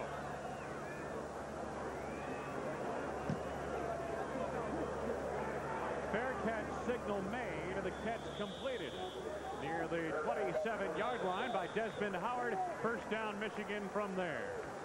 Get down to the sidelines and Brad. Desmond Howard is returning the punts because Tripp Welborne has been taken off the field. We have the word from the team doctor, Dr. O'Connor. Welborne has a sprained right knee, and there's ligament damage in that knee. He's been taken off the field. His return, he probably will not return. That's the official word, Wayne and Ben. All right, thank you very much, Brad. Tripp Welborne from Greensboro, North Carolina, the birthplace of somebody we all know and love. You want to add that? Who that somebody we all know and love is? Uh, all right, I take it back. It's somebody we all know it is. Again, do you want to add who that somebody is? that was me somebody. That's where I was. I was born in Greensboro, North Carolina. Big deal, huh? I saw I tell you all that. First down. 27-yard line. Grbac. Powers wide open on the sideline. Gain of nine yards to the 36. Fisher forced him out. Heath had a shot at him back inside the 35. Couldn't wrap him up. Minnesota's defense has become overly conscious of Desmond Howard because Elvis Grbac has gone to him the majority of the game. That time Grbac again wanted to go to him, Minnesota's defense sagged back, and he was open to hit Powers underneath. Second down, about a yard to go. There is Desmond Howard. The lone wide receiver in the lineup right now for Michigan. Ricky Powers. And the freshman has a first down out near the 40-yard line. Michigan leading by four, about 6.51 left to go in this third period. Sunvold and Heath on the tackle to Powers. Derek Fisher also there. And a lot of people out there are probably wondering, why are we not seeing Jon Vaughn? This is a guy that rushed for 200 yards against Notre Dame. Since the Michigan State game, when he injured his ankle, he has just not been 100%. They don't want to run him to death and possibly hurt him more. And in addition to that, Powers is running the football very well. Grbac in trouble. Lumpkin on the blitz. Makes the sack back near the 30. They mark it to the 29-yard line. That's a loss of 11. Big play by John Lumpkin. Boy, when you ask John Gutekunst, the head coach in Minnesota, about this young man, he speaks in glowing terms. Lumpkin has really come on in the last three weeks. He said, I don't doubt there's a better safety in the game right now in the Big Ten than Sean Lumpkin in the last three weeks. He's been outstanding. Sean Lumpkin is playing some good football. 74 tackles, four interceptions, and he just came up with his second quarterback sack. Big Ten Player of the Week two weeks ago. Second down now, 21 for Michigan. Derrick Alexander motion. Powers. Andre Davis arrives on the scene. Gain of maybe a yard out near the 30.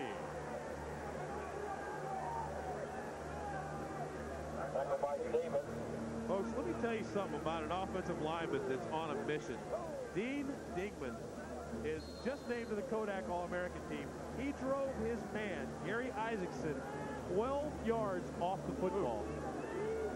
When Mandarich used to do that, they'd call it what, a uh, pancake or something? Made popular by Bill Fralic. Yeah, whatever term it's called. Yeah, exactly. It's not a lot of fun if you're on the receiving end. Third down. Intercepted by Jackson. Jackson had some running room inside the 35 of Michigan. Yale Van Dyne, a wide receiver, made the tackle.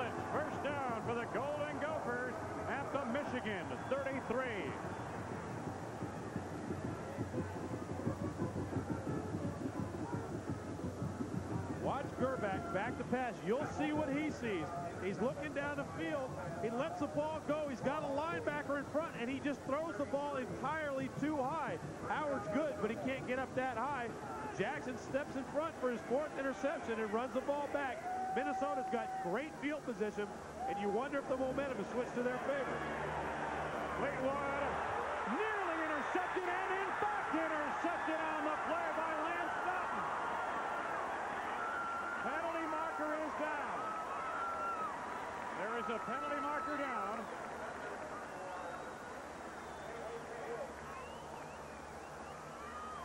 Illegal motion against Minnesota. Penalty decline. Michigan football. Best field position to start a drive for Minnesota at the Michigan 33, and here's what happened. And how quickly it can happen. You see the pass here, thrown behind. He gets his hands on it. The ball pops up. Number 22, Lance Naughton with his fourth interception of the season. And this is as big, a one, as big an interception as he's come up with so far this year. Pass thrown behind King, and then I'll tell you something. Uh, Martin Davis helps him hang on. He gets, he gets the assist. Yeah. First down for Michigan near the Wolverine 31. Michigan leading by four, late stages of the third period. Ricky Powers. My goodness, couple of good dance moves there. Out to the 39. Joel Stats made the stop. Mark it just short of the 40. Put a move on Derek Fisher to pick up an extra five yards. Give him a gain of nine as they mark it near the 40. Gary Moeller, offensive coordinator as well as head football coach here at Michigan. Second down, short yardage. Second and one. Grbac play action. Dave Diebold, first down to the 45-yard line. Sean Lumpkin forced him out. He wanted to go deep, He but wanted- Howard fell down. He wanted to throw the football to Desmond Howard. Desmond Howard maybe didn't get the call or just had a mental breakdown because he was downfield trying to throw a block. You saw Grbac shuffle in the pocket because he was looking for Howard. Howard was throwing a block. He's not going to catch a ball like that. Derrick Alexander, the lone wide receiver, to the bottom of your screen. First down, Michigan.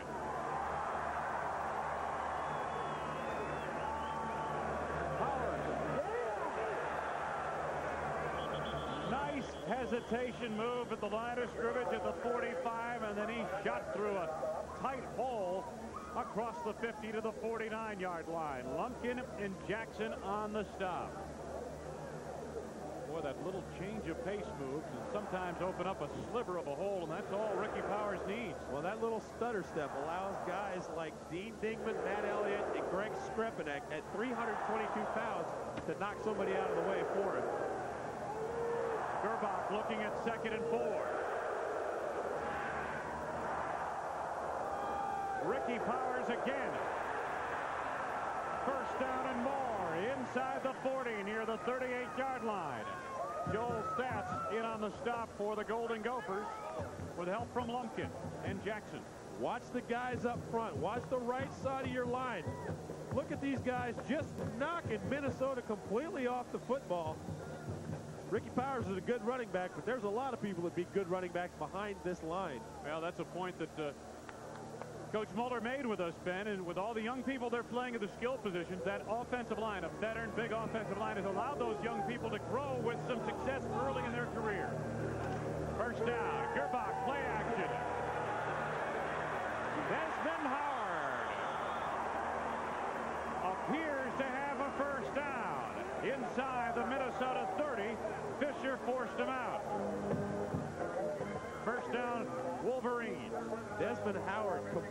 turned around Derek Fisher.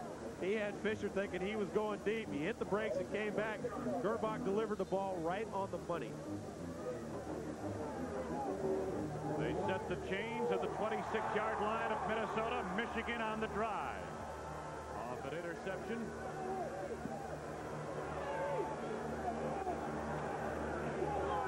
Jarrod Butts. His yards are not pretty, but he gets about four into heavy traffic, maybe three. Mertz and Lumpkin team up on the stop.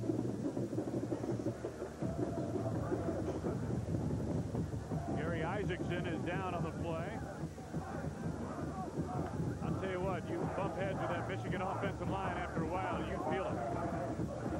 Isaacson shaken up, needs some help. We have a break to the action with 2.20 left to go. Third period of play. We'll be back. Oh, my neck. Oh, my neck. What can I do for my neck? What's that? It's a personal upgrade from Leander. Now there is a solution to neck pain caused by sleeping in your easy chair or while traveling. The personal upgrade provides support in the critical areas of the neck and head, as shown on these x-rays. By keeping your neck straight and your head supported, tension is released from the upper spine and you can relax, maybe even catch a few winks.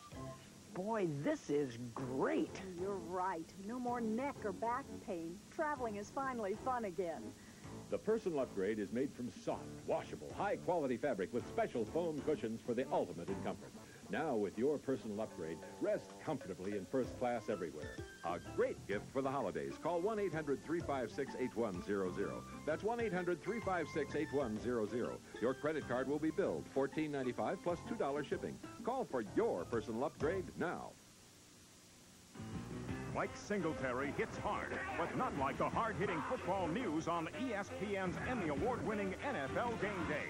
The team of Berman, Axthelm, Jackson, Edelstein, and Theismann hit the air each Sunday. Jerry Rice can cover the field, but not like the football coverage on ESPN's hour-long NFL Game Day. We'll take you all around the NFL and inside the numbers. NFL Game Day, Sunday at the special time of 11.30 Eastern, only on ESPN. The very end of this play, Isaacson has his hand caught in between Jarrod Bunch's arm and someone else's helmet, or in between his leg and his helmet. And you can see him grab his forearm right away. Folks, that hurts. Mike Sunvold, number 79, digs in on the nose of the defense for the Golden Gophers of Minnesota. They trail by four, late third period of play. Michigan on the attack with a second down. Desmond Howard surrounded by a posse of Gophers, but nonetheless picked up a first down near the 14-yard line of Minnesota. Drenone May, Sean Lumpkin team up on the stop. Minnesota's defense feeling like they have to take a chance. They're bringing eight and nine people up on the line, giving single coverage to Desmond Howard, hoping they can get to Grbac before he can get the ball to Howard. And a lot of defenses will do that when you get in deep into their own their territory. They'll gamble some and try to force a big play to take it away from you. Now first down just inside the 14 for Michigan. Ricky Powers trying to cut it back, gets down to about the 10 before being stacked up. Gain of about four. Powers has provided good pro production in place of Jon Vaughn. Jackson and Stats made the stop. I don't think Jon Vaughn, leads the Big Ten in rushing, has played since the first period of play in this ball game. And five carries for, I believe, 22 yards. You have to wonder if that ankle's bothering him again or if it's just Ricky Powers playing good football. And Ricky Powers, 92 yards, heading for his third 100-yard game of the season. Second down, Michigan, about six.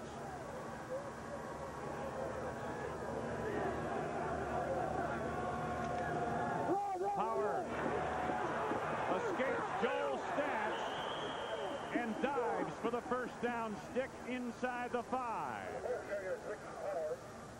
Sean Lumpkin forced him out of real estate to the far side. Number 55 and White had a shot at him. Conspicuous in his absence is the name of Mike Sunvold. This is why. Look at how far down the line Matt Elliott Ding Demon drove that, that gentleman right there. And this is a good football player, folks. This is not just your average lineman. Mike Sunvold, although he's playing with a broken hand, is one of the best defensive linemen in the Big Ten. First down, Michigan. First and goal to go. The Gopher three. Grbac. For Alexander. Touchdown.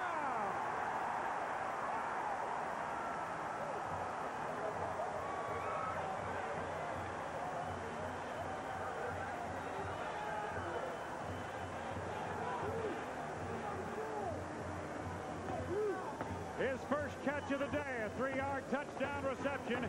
Derrick Alexander, third touchdown pass of the game for Grbac. Elvis Grbac, known for having a strong arm, but he showed some amazing finesse today. Look at him lob the ball out there where only Alexander can get to it right before he steps out of bounds. Great throw and catch. You can't draw him up any better than that. Same type of play they hit Desmond Howard on in the first half. J.D. Carlson for the point after. Rarely does he miss. And he adds the extra point to give Michigan its largest lead of the afternoon, 11 points over Minnesota with 21 seconds to go in the third. And 66 consecutive PAT conversions by Carlson. One short of Mike Gillette to put him into second place. Take another look at that touchdown. The inside receiver does a juke step. Howard breaks across the middle. Alexander breaks to the outside. Grbac lobs it up. Jackson's beat. Alexander makes the grab. That's some good football right there. Takes a nice touch on the part of the quarterback to put that in there. It really does, and it takes a lot of practice between a quarterback and a wide receiver to get that kind of timing because each receiver is different in the way he runs routes. Some receivers get to spots much faster than others, and some people get there in different ways. You just have to know when and where they're going to be. Grbac seems to be on with both of them today. The only skill position starter Michigan will lose on offense this year is Jarrod Bunch, the fullback. Carlson's kickoff carries toward the near side.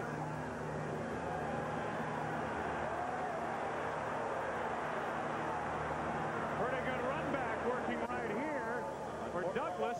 Unfortunately, it's coming back, Wayne. Yep. Penalty marker down. Penalty marker down, and it may pull it back. Scoring drive, well, 69 yards, their longest scoring drive of the afternoon by far. 10 plays. Derrick Alexander, his first catch of the day, made it count.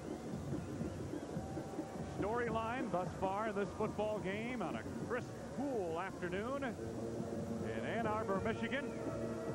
Smith 70 yards, 42 of which came on one run to set up a Minnesota touchdown. Grbac now three TD passes. Vaughn cameo appearance in the first period of play. Howard's been the go-to man for Michigan. 13 seconds to go in the third. Illegal use of hands, the penalty against Minnesota on the kickoff return, the Gophers are pinned back inside their 15 at the 13-yard first down. Scott Schaffner on a quarterback in place of Marquel Fleetwood. Quick dive up the middle for short yardage out across the 15 to about the 16-yard line, and the third period comes to a close. End of three complete. The Wolverines now own an 11-point lead over the Gophers. Earlier today, Brad Lefton, our sideline reporter, told us there would be a proposal in the air.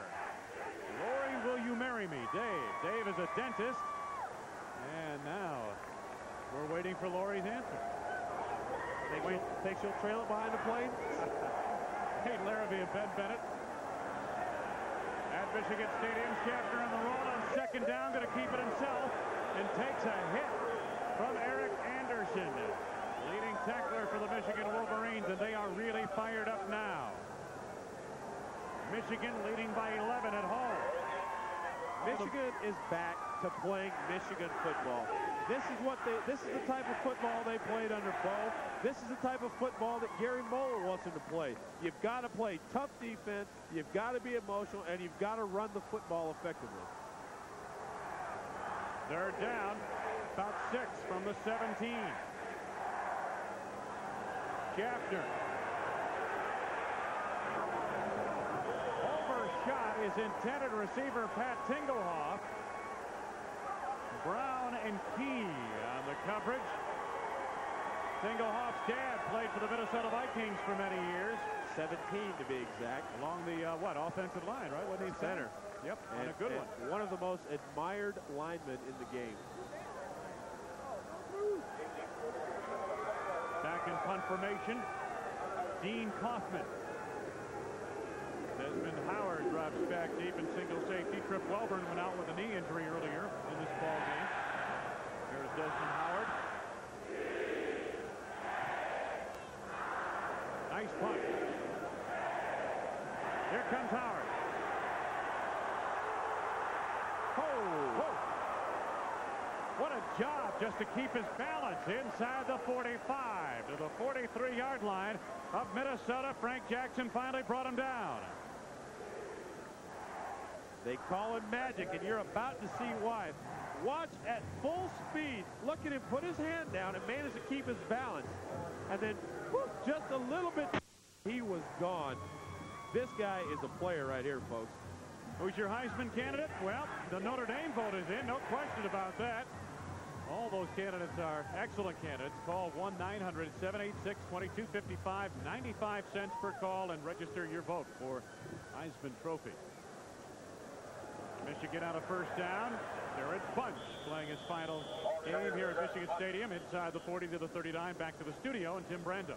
Major happenings that could scar the Sugar Bowl, gentlemen. Scott Zolak will find Marcus Badgett for the Terps, 72 yards to set up a Mark Mason TD run, his second of the day. Maryland maybe saving Joe Krivac's job, leading 35-28 under five to play. UVA has the ball beyond their own 40-yard line. We'll keep you in touch. Second down for Michigan, about seven. Grbac into the flat. Derrick Alexander stepped out at the 28-yard line. Ken Seabree chased him out of the far side. 12 yards on the gain. Watch the block out front by Desmond Howard. It's not a devastating block, but it's just enough to spring Alexander. Then after that, it's all athletic ability, although he steps out of bounds. First down. 28-yard line of Minnesota.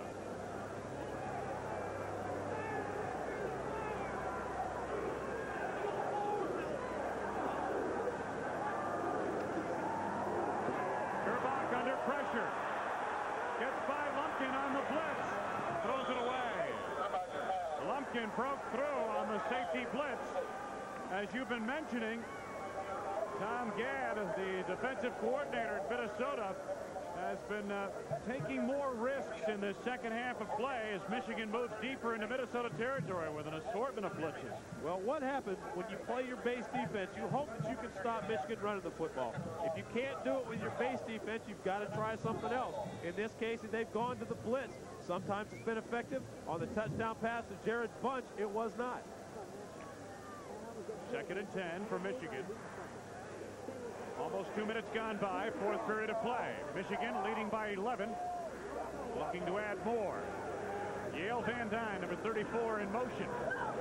Desmond Howard. Plus yardage down the sidelines to the 14 of Minnesota. Another first down. Seabree and Heat chased him out. Exactly the same play we just saw a little while ago to Alexander. This time it's to Howard. Watch the block out front by Van Dyne. Again, not a devastating block, but enough to let Howard slip by and pick up big yardage. Ben, that block doesn't have to be devastating when you've got the kind of quickness that Desmond Howard is running behind it with. Absolutely. First down near the 14 of Minnesota. Powers but on setback. Van Dyne and Alexander at the bottom screen and Ricky Powers. kept his balance for an extra three yards down near the five-yard line. Pick up up nine. Carlin Burt, Skeeter Acree on the stop. When you're a defensive back, you're told to get underneath the pads. You can see right here, watch the hit. Boom, Jackson is plenty low, but look at the balance of Ricky Powers. Folks, that's something you can't coach. That's natural, instinctive running. Hey, Ricky Powers was in high school a year ago. 109 yards now for Ricky Powers. Second week in a row, he's over 100.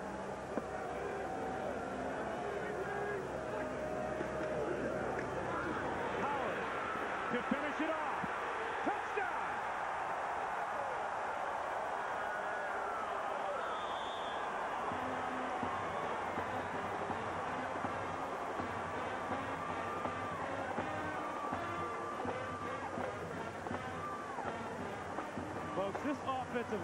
Is flat cleaning some people's blocks.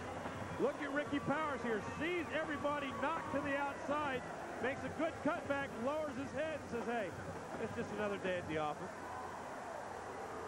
I tell you, Matt Elliott swinging over there, sliding over on a block, took a couple of guys with him as well. J.D. Carlson, as we showed you earlier, is at 66 in a row. PATs, going for 67. He's coming up on the Michigan record. Out of the hold of Ken Salem. Everitt with the snap, and the kick is good. Michigan Wolverine, trailing 10 to 7 at halftime, have roared in front big time. ESPN's College Football, Minnesota and Michigan, is brought to you by Jaguar, a blending of art and machine. And by Bud Light. Everything else is just a light.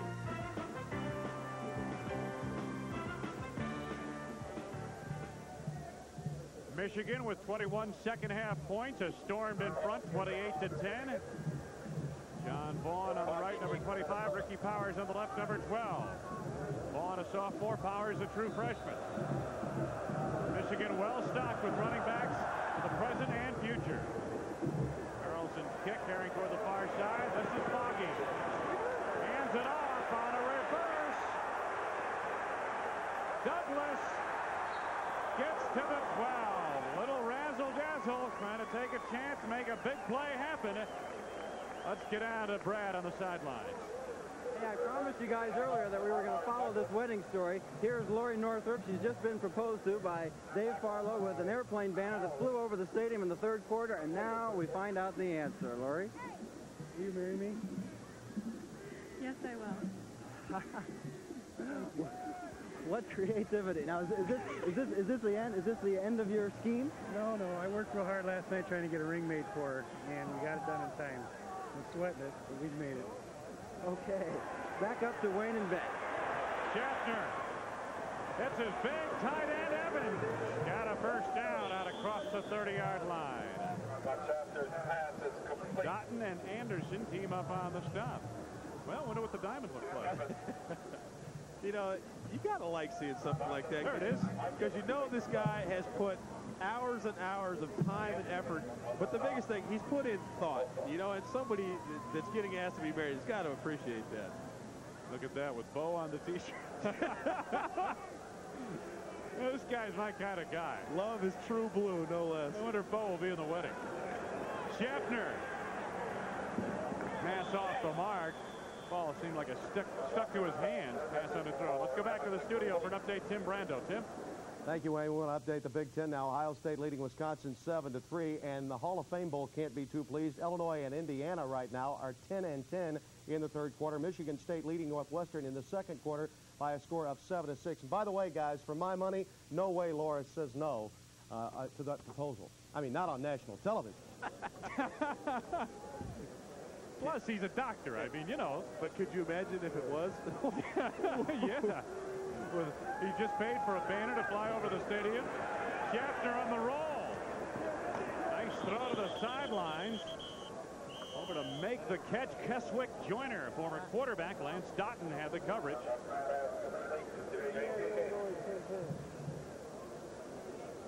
See if we can pick it up here. Was he in play? You make the call, folks. How about that? What do you think? I'll give it to them. They, they make so many good calls. We'll, we'll give them the benefit of the doubt. Gain of nine, third down. Third and one. Tough yards to a first down. A fullback, James King, I should say Rios, following the block of King. Davis and Evans on the stop. John Gutekunst. Program has gone through some tough times since Lou Holtz left. But as we mentioned, he has restructured. He has a lot of young talent on the roster. This team will be much better next year. First and 10. Rios stormed back that time. Evans leading the way for Michigan.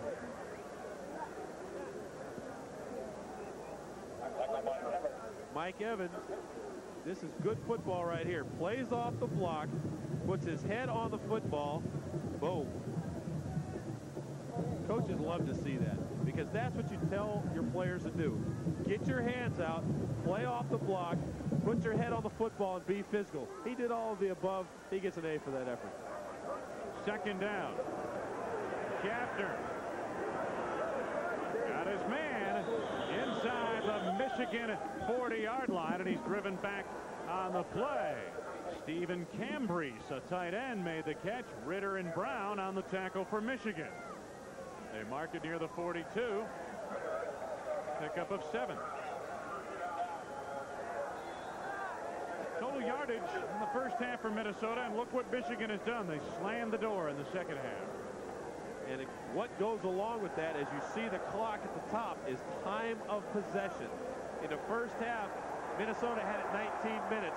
I promise you they haven't had it that much this half. Schaffner on a roll. Wide of the mark, intended for Hopewell. On the far side, Lance Dottin had the coverage.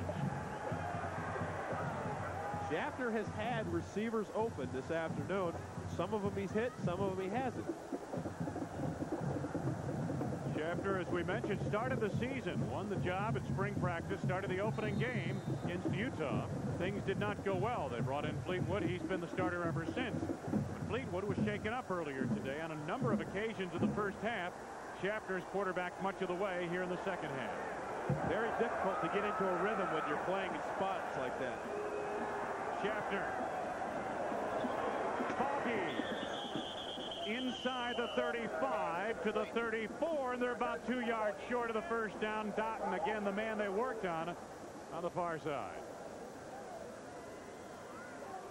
Schaff, Shafter was a starting quarterback for Minnesota in his freshman and sophomore season.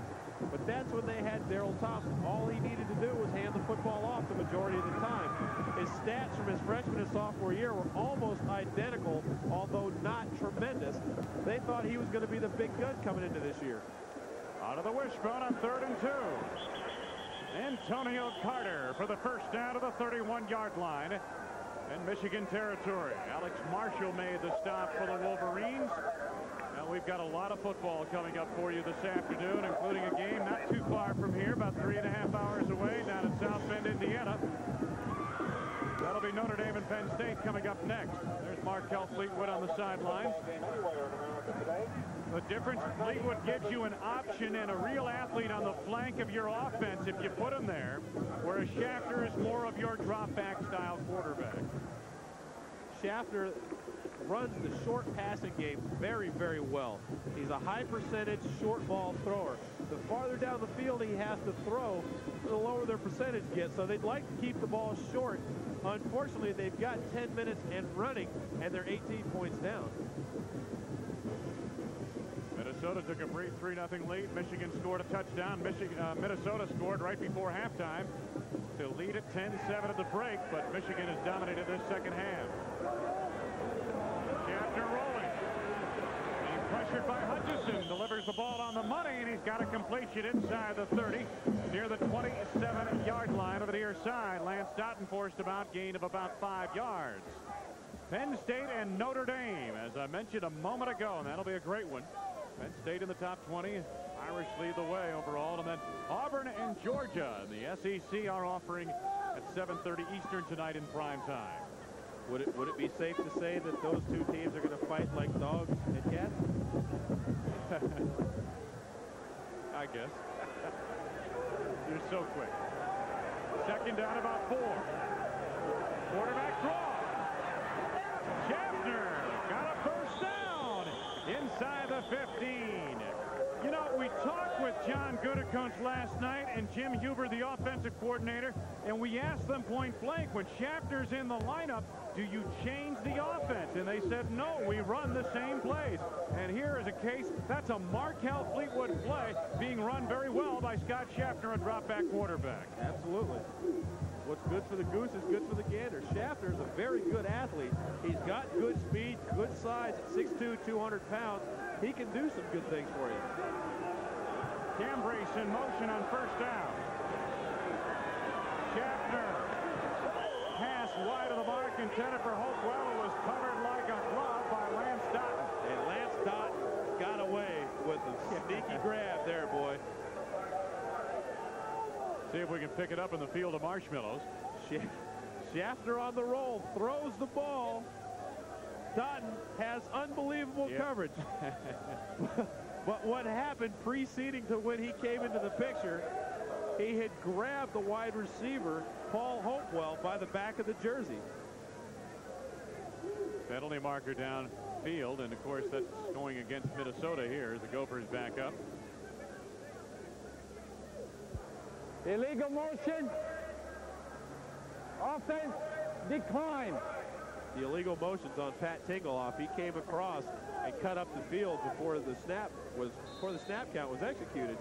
But going back to Lance Dottin on that little grab, he'll tell you, hey, it wasn't a penalty. Why wasn't it a penalty? Because they didn't catch it. We'll talk about the marshmallows in the end zone here in a few moments. The tradition here at Michigan. Shafter looking to the end zone, being pressured. Hit as he throws. Right through the hands of his intended receiver, Pat Tingelhoff, at the five-yard line. And Hafter really took a shot from Eric Anderson, the linebacker, blitzing through from the inside. This is a catch Tingelhoff should have had. His hands are cold because it's a cold afternoon. But folks, this is one you got to have. If you're a big play guy, you got to make this catch. The ball delivered high, but it went right through both hands. It was almost intercepted at the end.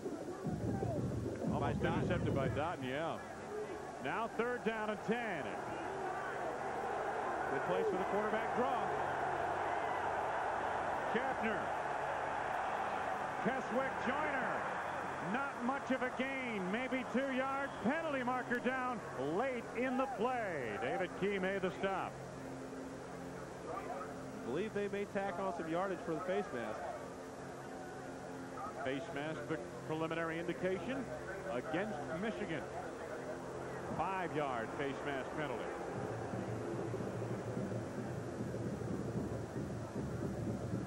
Eight fifty-eight left to go. Number 15, Scott Schaffner. Woo, look at Florida.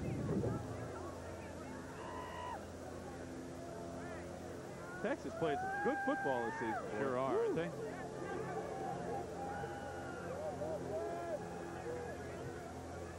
Oops. Five yards, face mask. Oh boy.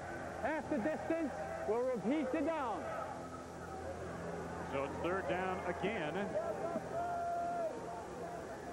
Third down and the football now just outside the Michigan four. Third down and about three and a half yards to go. Foggie in motion. Schaffner. To Tingelhoff for the touchdown. He drilled it right on the numbers. Tingelhoff screened out Lance Dottin on the defense.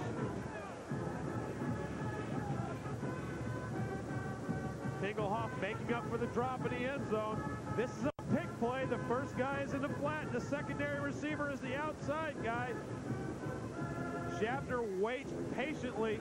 Once the flat's not open, he waited for Tingelhoff to work his way free. Tingelhoff used a good move at the line to get away from the DB and then broke it across, made a good catch at the end. Two-point conversion try coming up for Minnesota. They trail 28 to 16. Eight minutes and 46 seconds left to go in the football game. The two-point conversion here puts them within a touchdown and a field goal of tying this football game. Schaffner came on and ran a pretty good drive. Absolutely. Like I said, it's like it's like anything else, Wayne. The more you do something, the better you get at it. And a quarterback's the same way. You've got to be able to get into a rhythm. You've got to be able to throw a few balls and take a few hits. It's very difficult to be shuffled in and out of the line, lineup and be effective. Two-point conversion try. Schaffner on the roll. Back against the grain. Score Evans went up and got it. He tipped it away from David Key. Minnesota making things interesting with 8.46 left to go in Ann Arbor.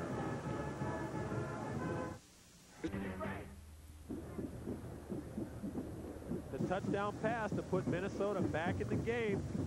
You'll see Schaffner roll to his right, wait for Tingelhoff to shake free and deliver the ball low and right in the numbers. Tingelhoff wraps all around the football and secures the catch.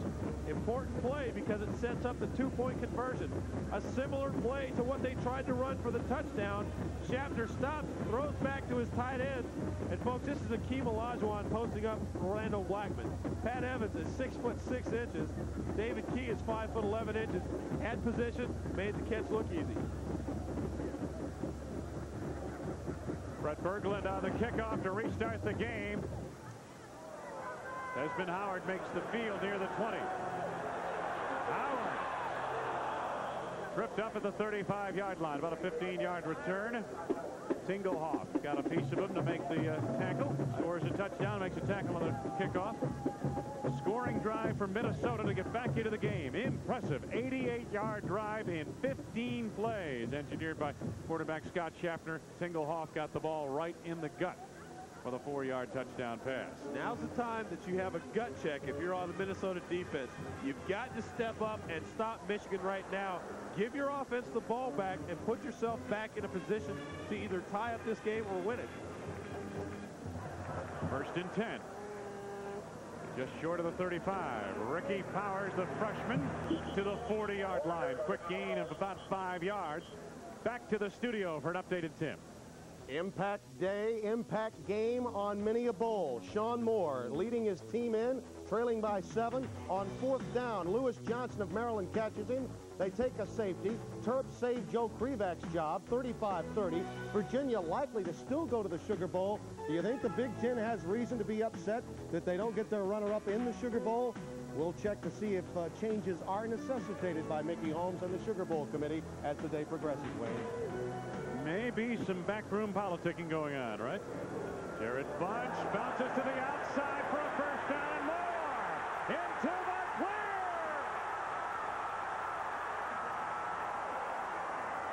To the Gophers six. Shawn Lumpkin saved the touchdown. On Senior's Day, the senior from Ashtabula, Ohio, makes the biggest run of the afternoon for Michigan. Look at the block out front by Desmond Howard, and look at Jarrod Bunch take advantage of it. Rumbling down the sideline, Shawn Lumpkin makes the touchdown saving tackle. But Jarrod Bunch at 6'2", 247 pounds, he was moving out. 54 yards. They mark it near the five at the six-yard line. First and goal. Howard brought down to the line of scrimmage. Good play made by Ken Seabree, a junior from Detroit. And how many times do you see that happen, Wayne? You see it on kickoff returns. A runner will run into the back of a pile and not actually get tackled, but everybody just kind of settles down and stops. Then he pops back outside and takes off for big yards. 54-yard run by Bunch, the longest run of his career. Jon Vaughn, number 25, has gone back into the ball game. Now they've got a combination of Vaughn and Powers, along with Burnie Legette in the wishbone look on second down and goal to go from the six.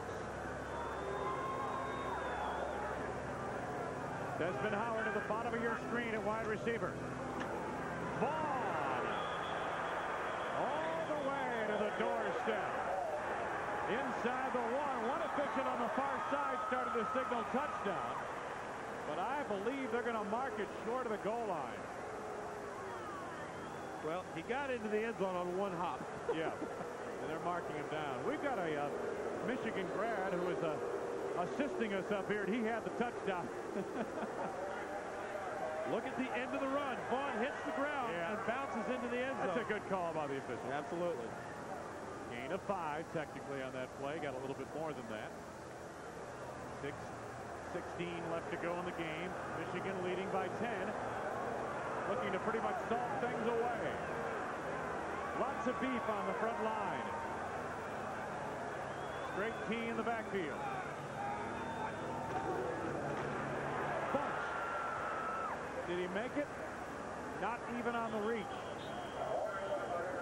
Credit the Gophers. They have not given up an inch. Williams and Jackson and Seabree all in on the stop. Forcing Michigan into a fourth down. Michigan fans screaming for him to go for it. I don't think there's any question. Oh, you're, up, yes. you're up by 10. A field goal really doesn't put you up by that much more. You still got to score twice. And with the way their defense has been playing, I think they got to go for it. No doubt. Fourth and inches.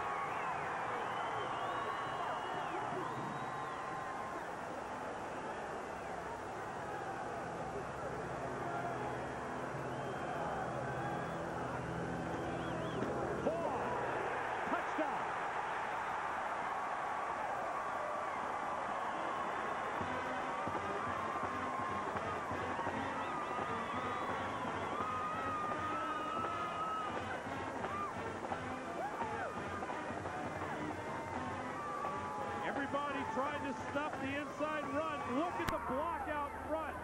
Jon Vaughn wisely bounces outside and scoots to the corner. Nation's fourth leading rusher has been frustrated and slowed by a lingering ankle injury throughout the second half of the season.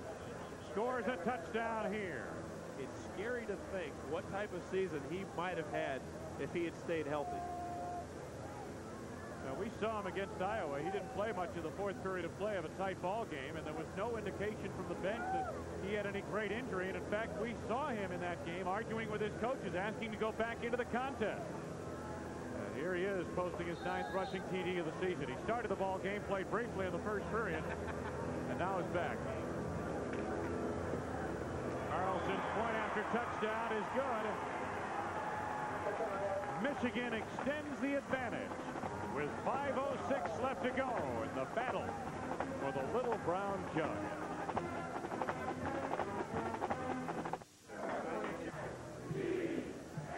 Wayne Larrivee and Ben Bennett at Michigan Stadium. The Wolverines have responded to a fourth period Minnesota touchdown drive with one of their own. 54-yard run by Jarrod Bunch, the fullback, set up a touchdown run of one yard by Jon Vaughn. J.D. Carlson restarting the game.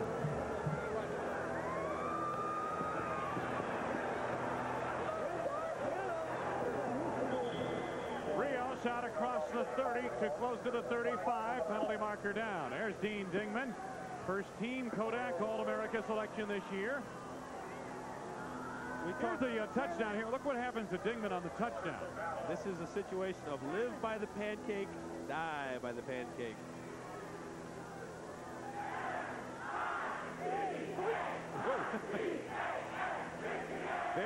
Very difficult to keep a good man down, especially if you're Dean Dingman. Watch the power in this guy's leg.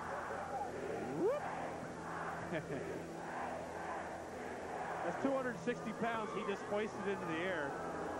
I don't, I don't, even think he felt it. The point being on that first replay is that it can happen to the best of them. That, right? It does. From the 21, Minnesota, trailing 35 to 18. Five minutes left to go.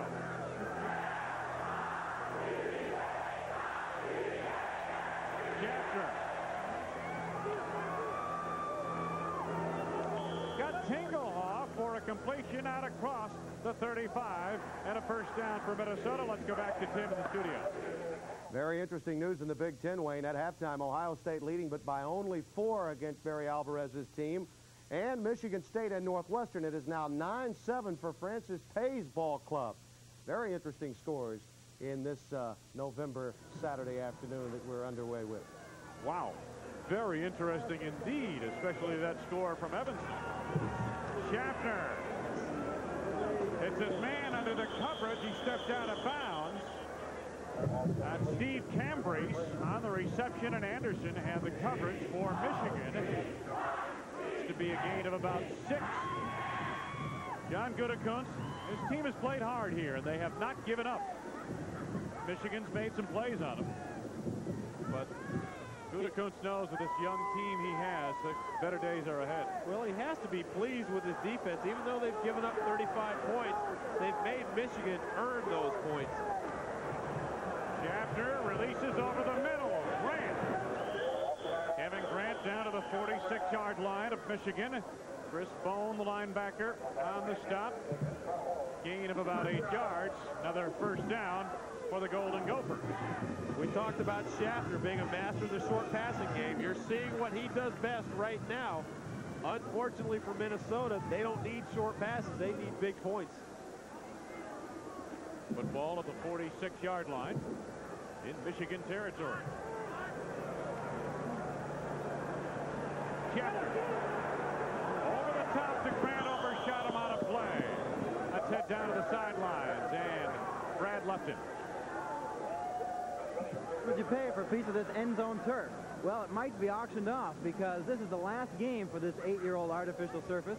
You see, next year Michigan is going to go with a natural grass surface. The Board of Regents just decided that on Thursday. They're going to go with this prescription turf from Purdue University. It's going to cost them $1.2 million. We better hope they have a lot of people that want to buy part of this.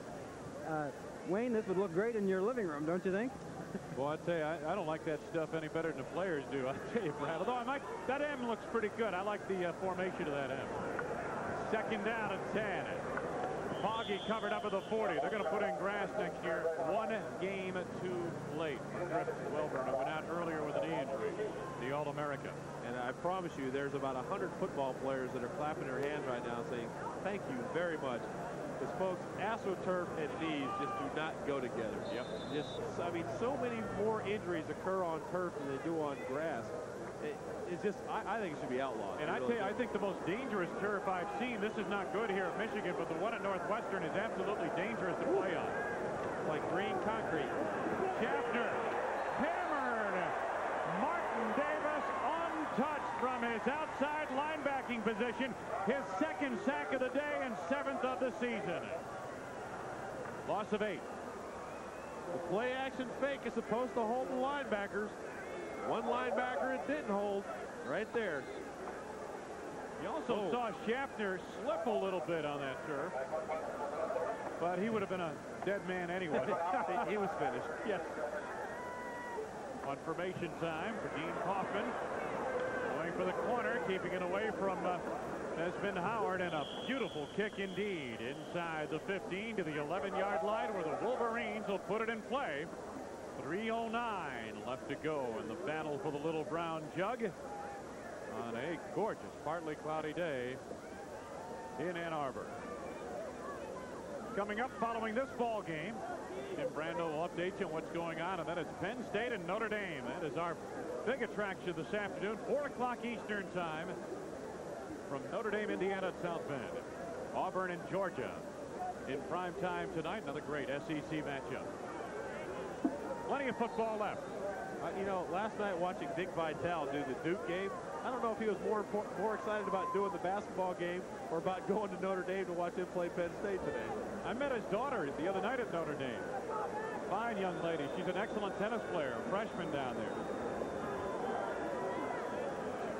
Grbac. Hand off to the running back to the outside. Goes Dennis Washington, a sophomore from Lorain, Ohio. Pick up on that play of about four yards. Coming up, scoreboard show with Tim and Lee. They'll get you caught up to date on what's been going on in the early afternoon around the country, as well as set the scene for the next two games to come up here on ESPN. Set the scene for the game. In the land of the Golden Dome, baby! So PT! Isn't it great to hear him, though, again? Oh, you ought to you ought to see him when he goes to Duke. They pitch him around. They throw him up on their oh. hands and throw him in the stands. It's great college basketball. Second down. Out of the eye. Powers. Yeah, this impressive freshman is close to a first down. Back to the sidelines. For an update with Brad. Brad? This is this is the fabled little brown jug, and here is its keeper, equipment manager for Michigan, John Falk. John, what's going to happen with this? Well, we hope that as soon as this game's over, the seniors are going to come over and the captain, they'll pick it up and they'll take it back and they'll keep it in Michigan for another year. Is there any water left in it? Uh, no, I think it's dried up by now. It's uh, got a lot of history behind it. As you can see, 1903 when it started. And then uh, here we are today. And the ones that uh, the ones that live in our heart were the two we lost. Okay, back to Wayne and Ben. 2.59 left to go. We'll be back. Wayne Larrivee, Ben Bennett, 2.59 left to go. Michigan trying to secure the little brown jug for another year. It'll be the fourth time in a row they had beaten Minnesota in this game. First down, just across the 21-yard line, Wolverine territory. Elvis Grbac still at quarterback. Ricky Powers in the offensive backfield, reverses field. Powers made something out of nothing. I mean, he made about five yards out of nothing. Seabree and on the stop for Minnesota. One of the traits a good running back will have is vision of the entire field. Power saw that there was nothing strong side, knew that there was room backside, had to make a couple of moves, but he hit the brakes and got forward. Can you imagine the one-two punch of these guys for the next three years? If they can keep both of them happy, huh? I mean, really.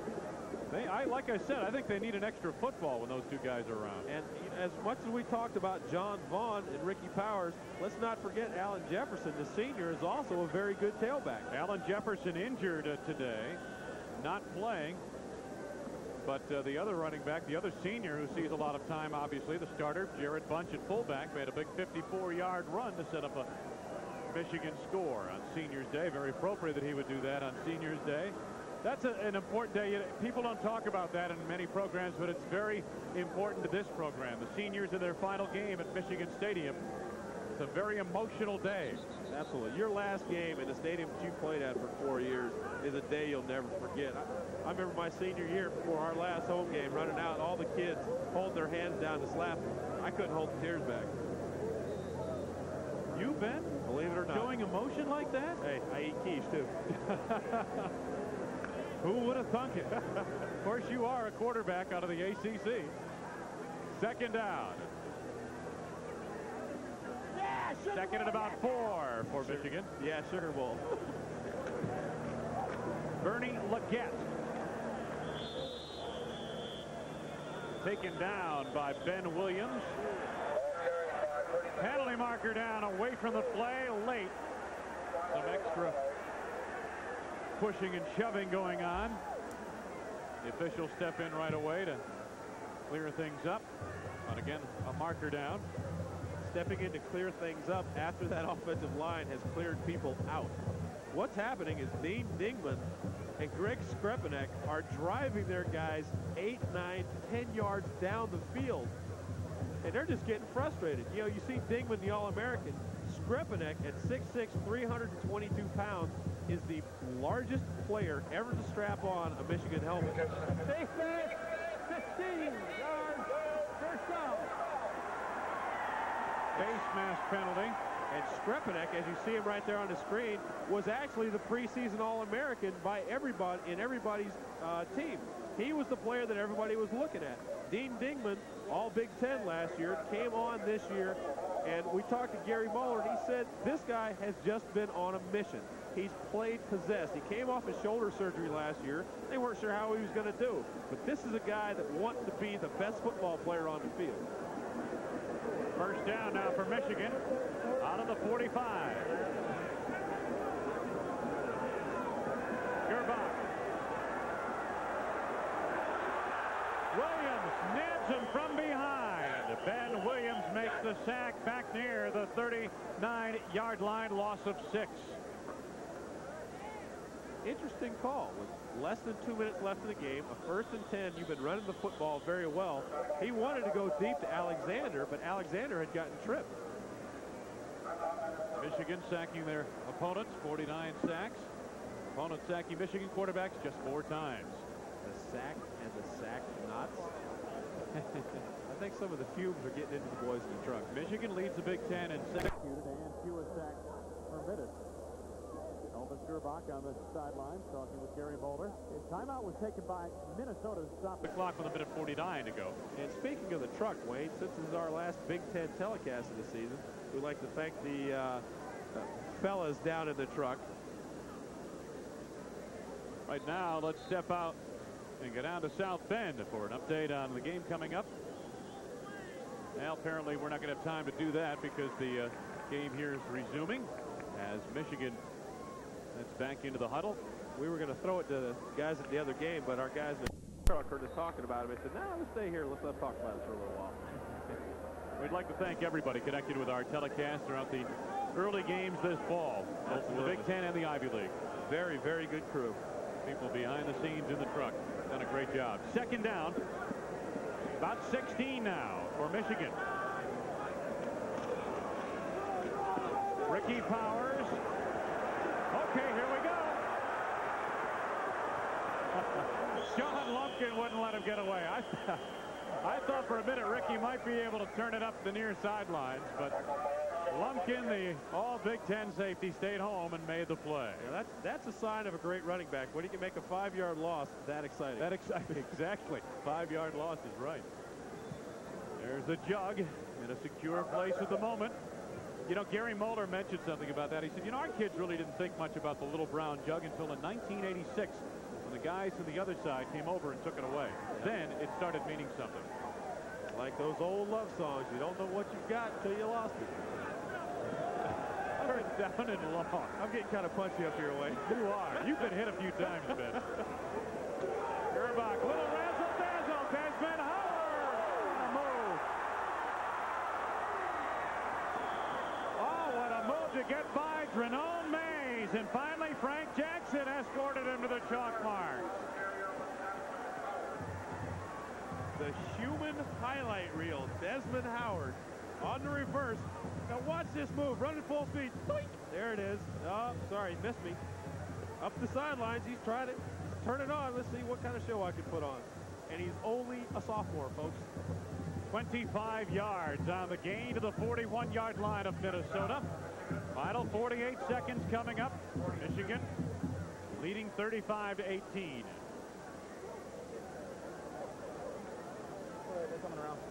Notre Dame and Penn State coming up next following Lee Corso and Tim Brando with an update on the scoreboard.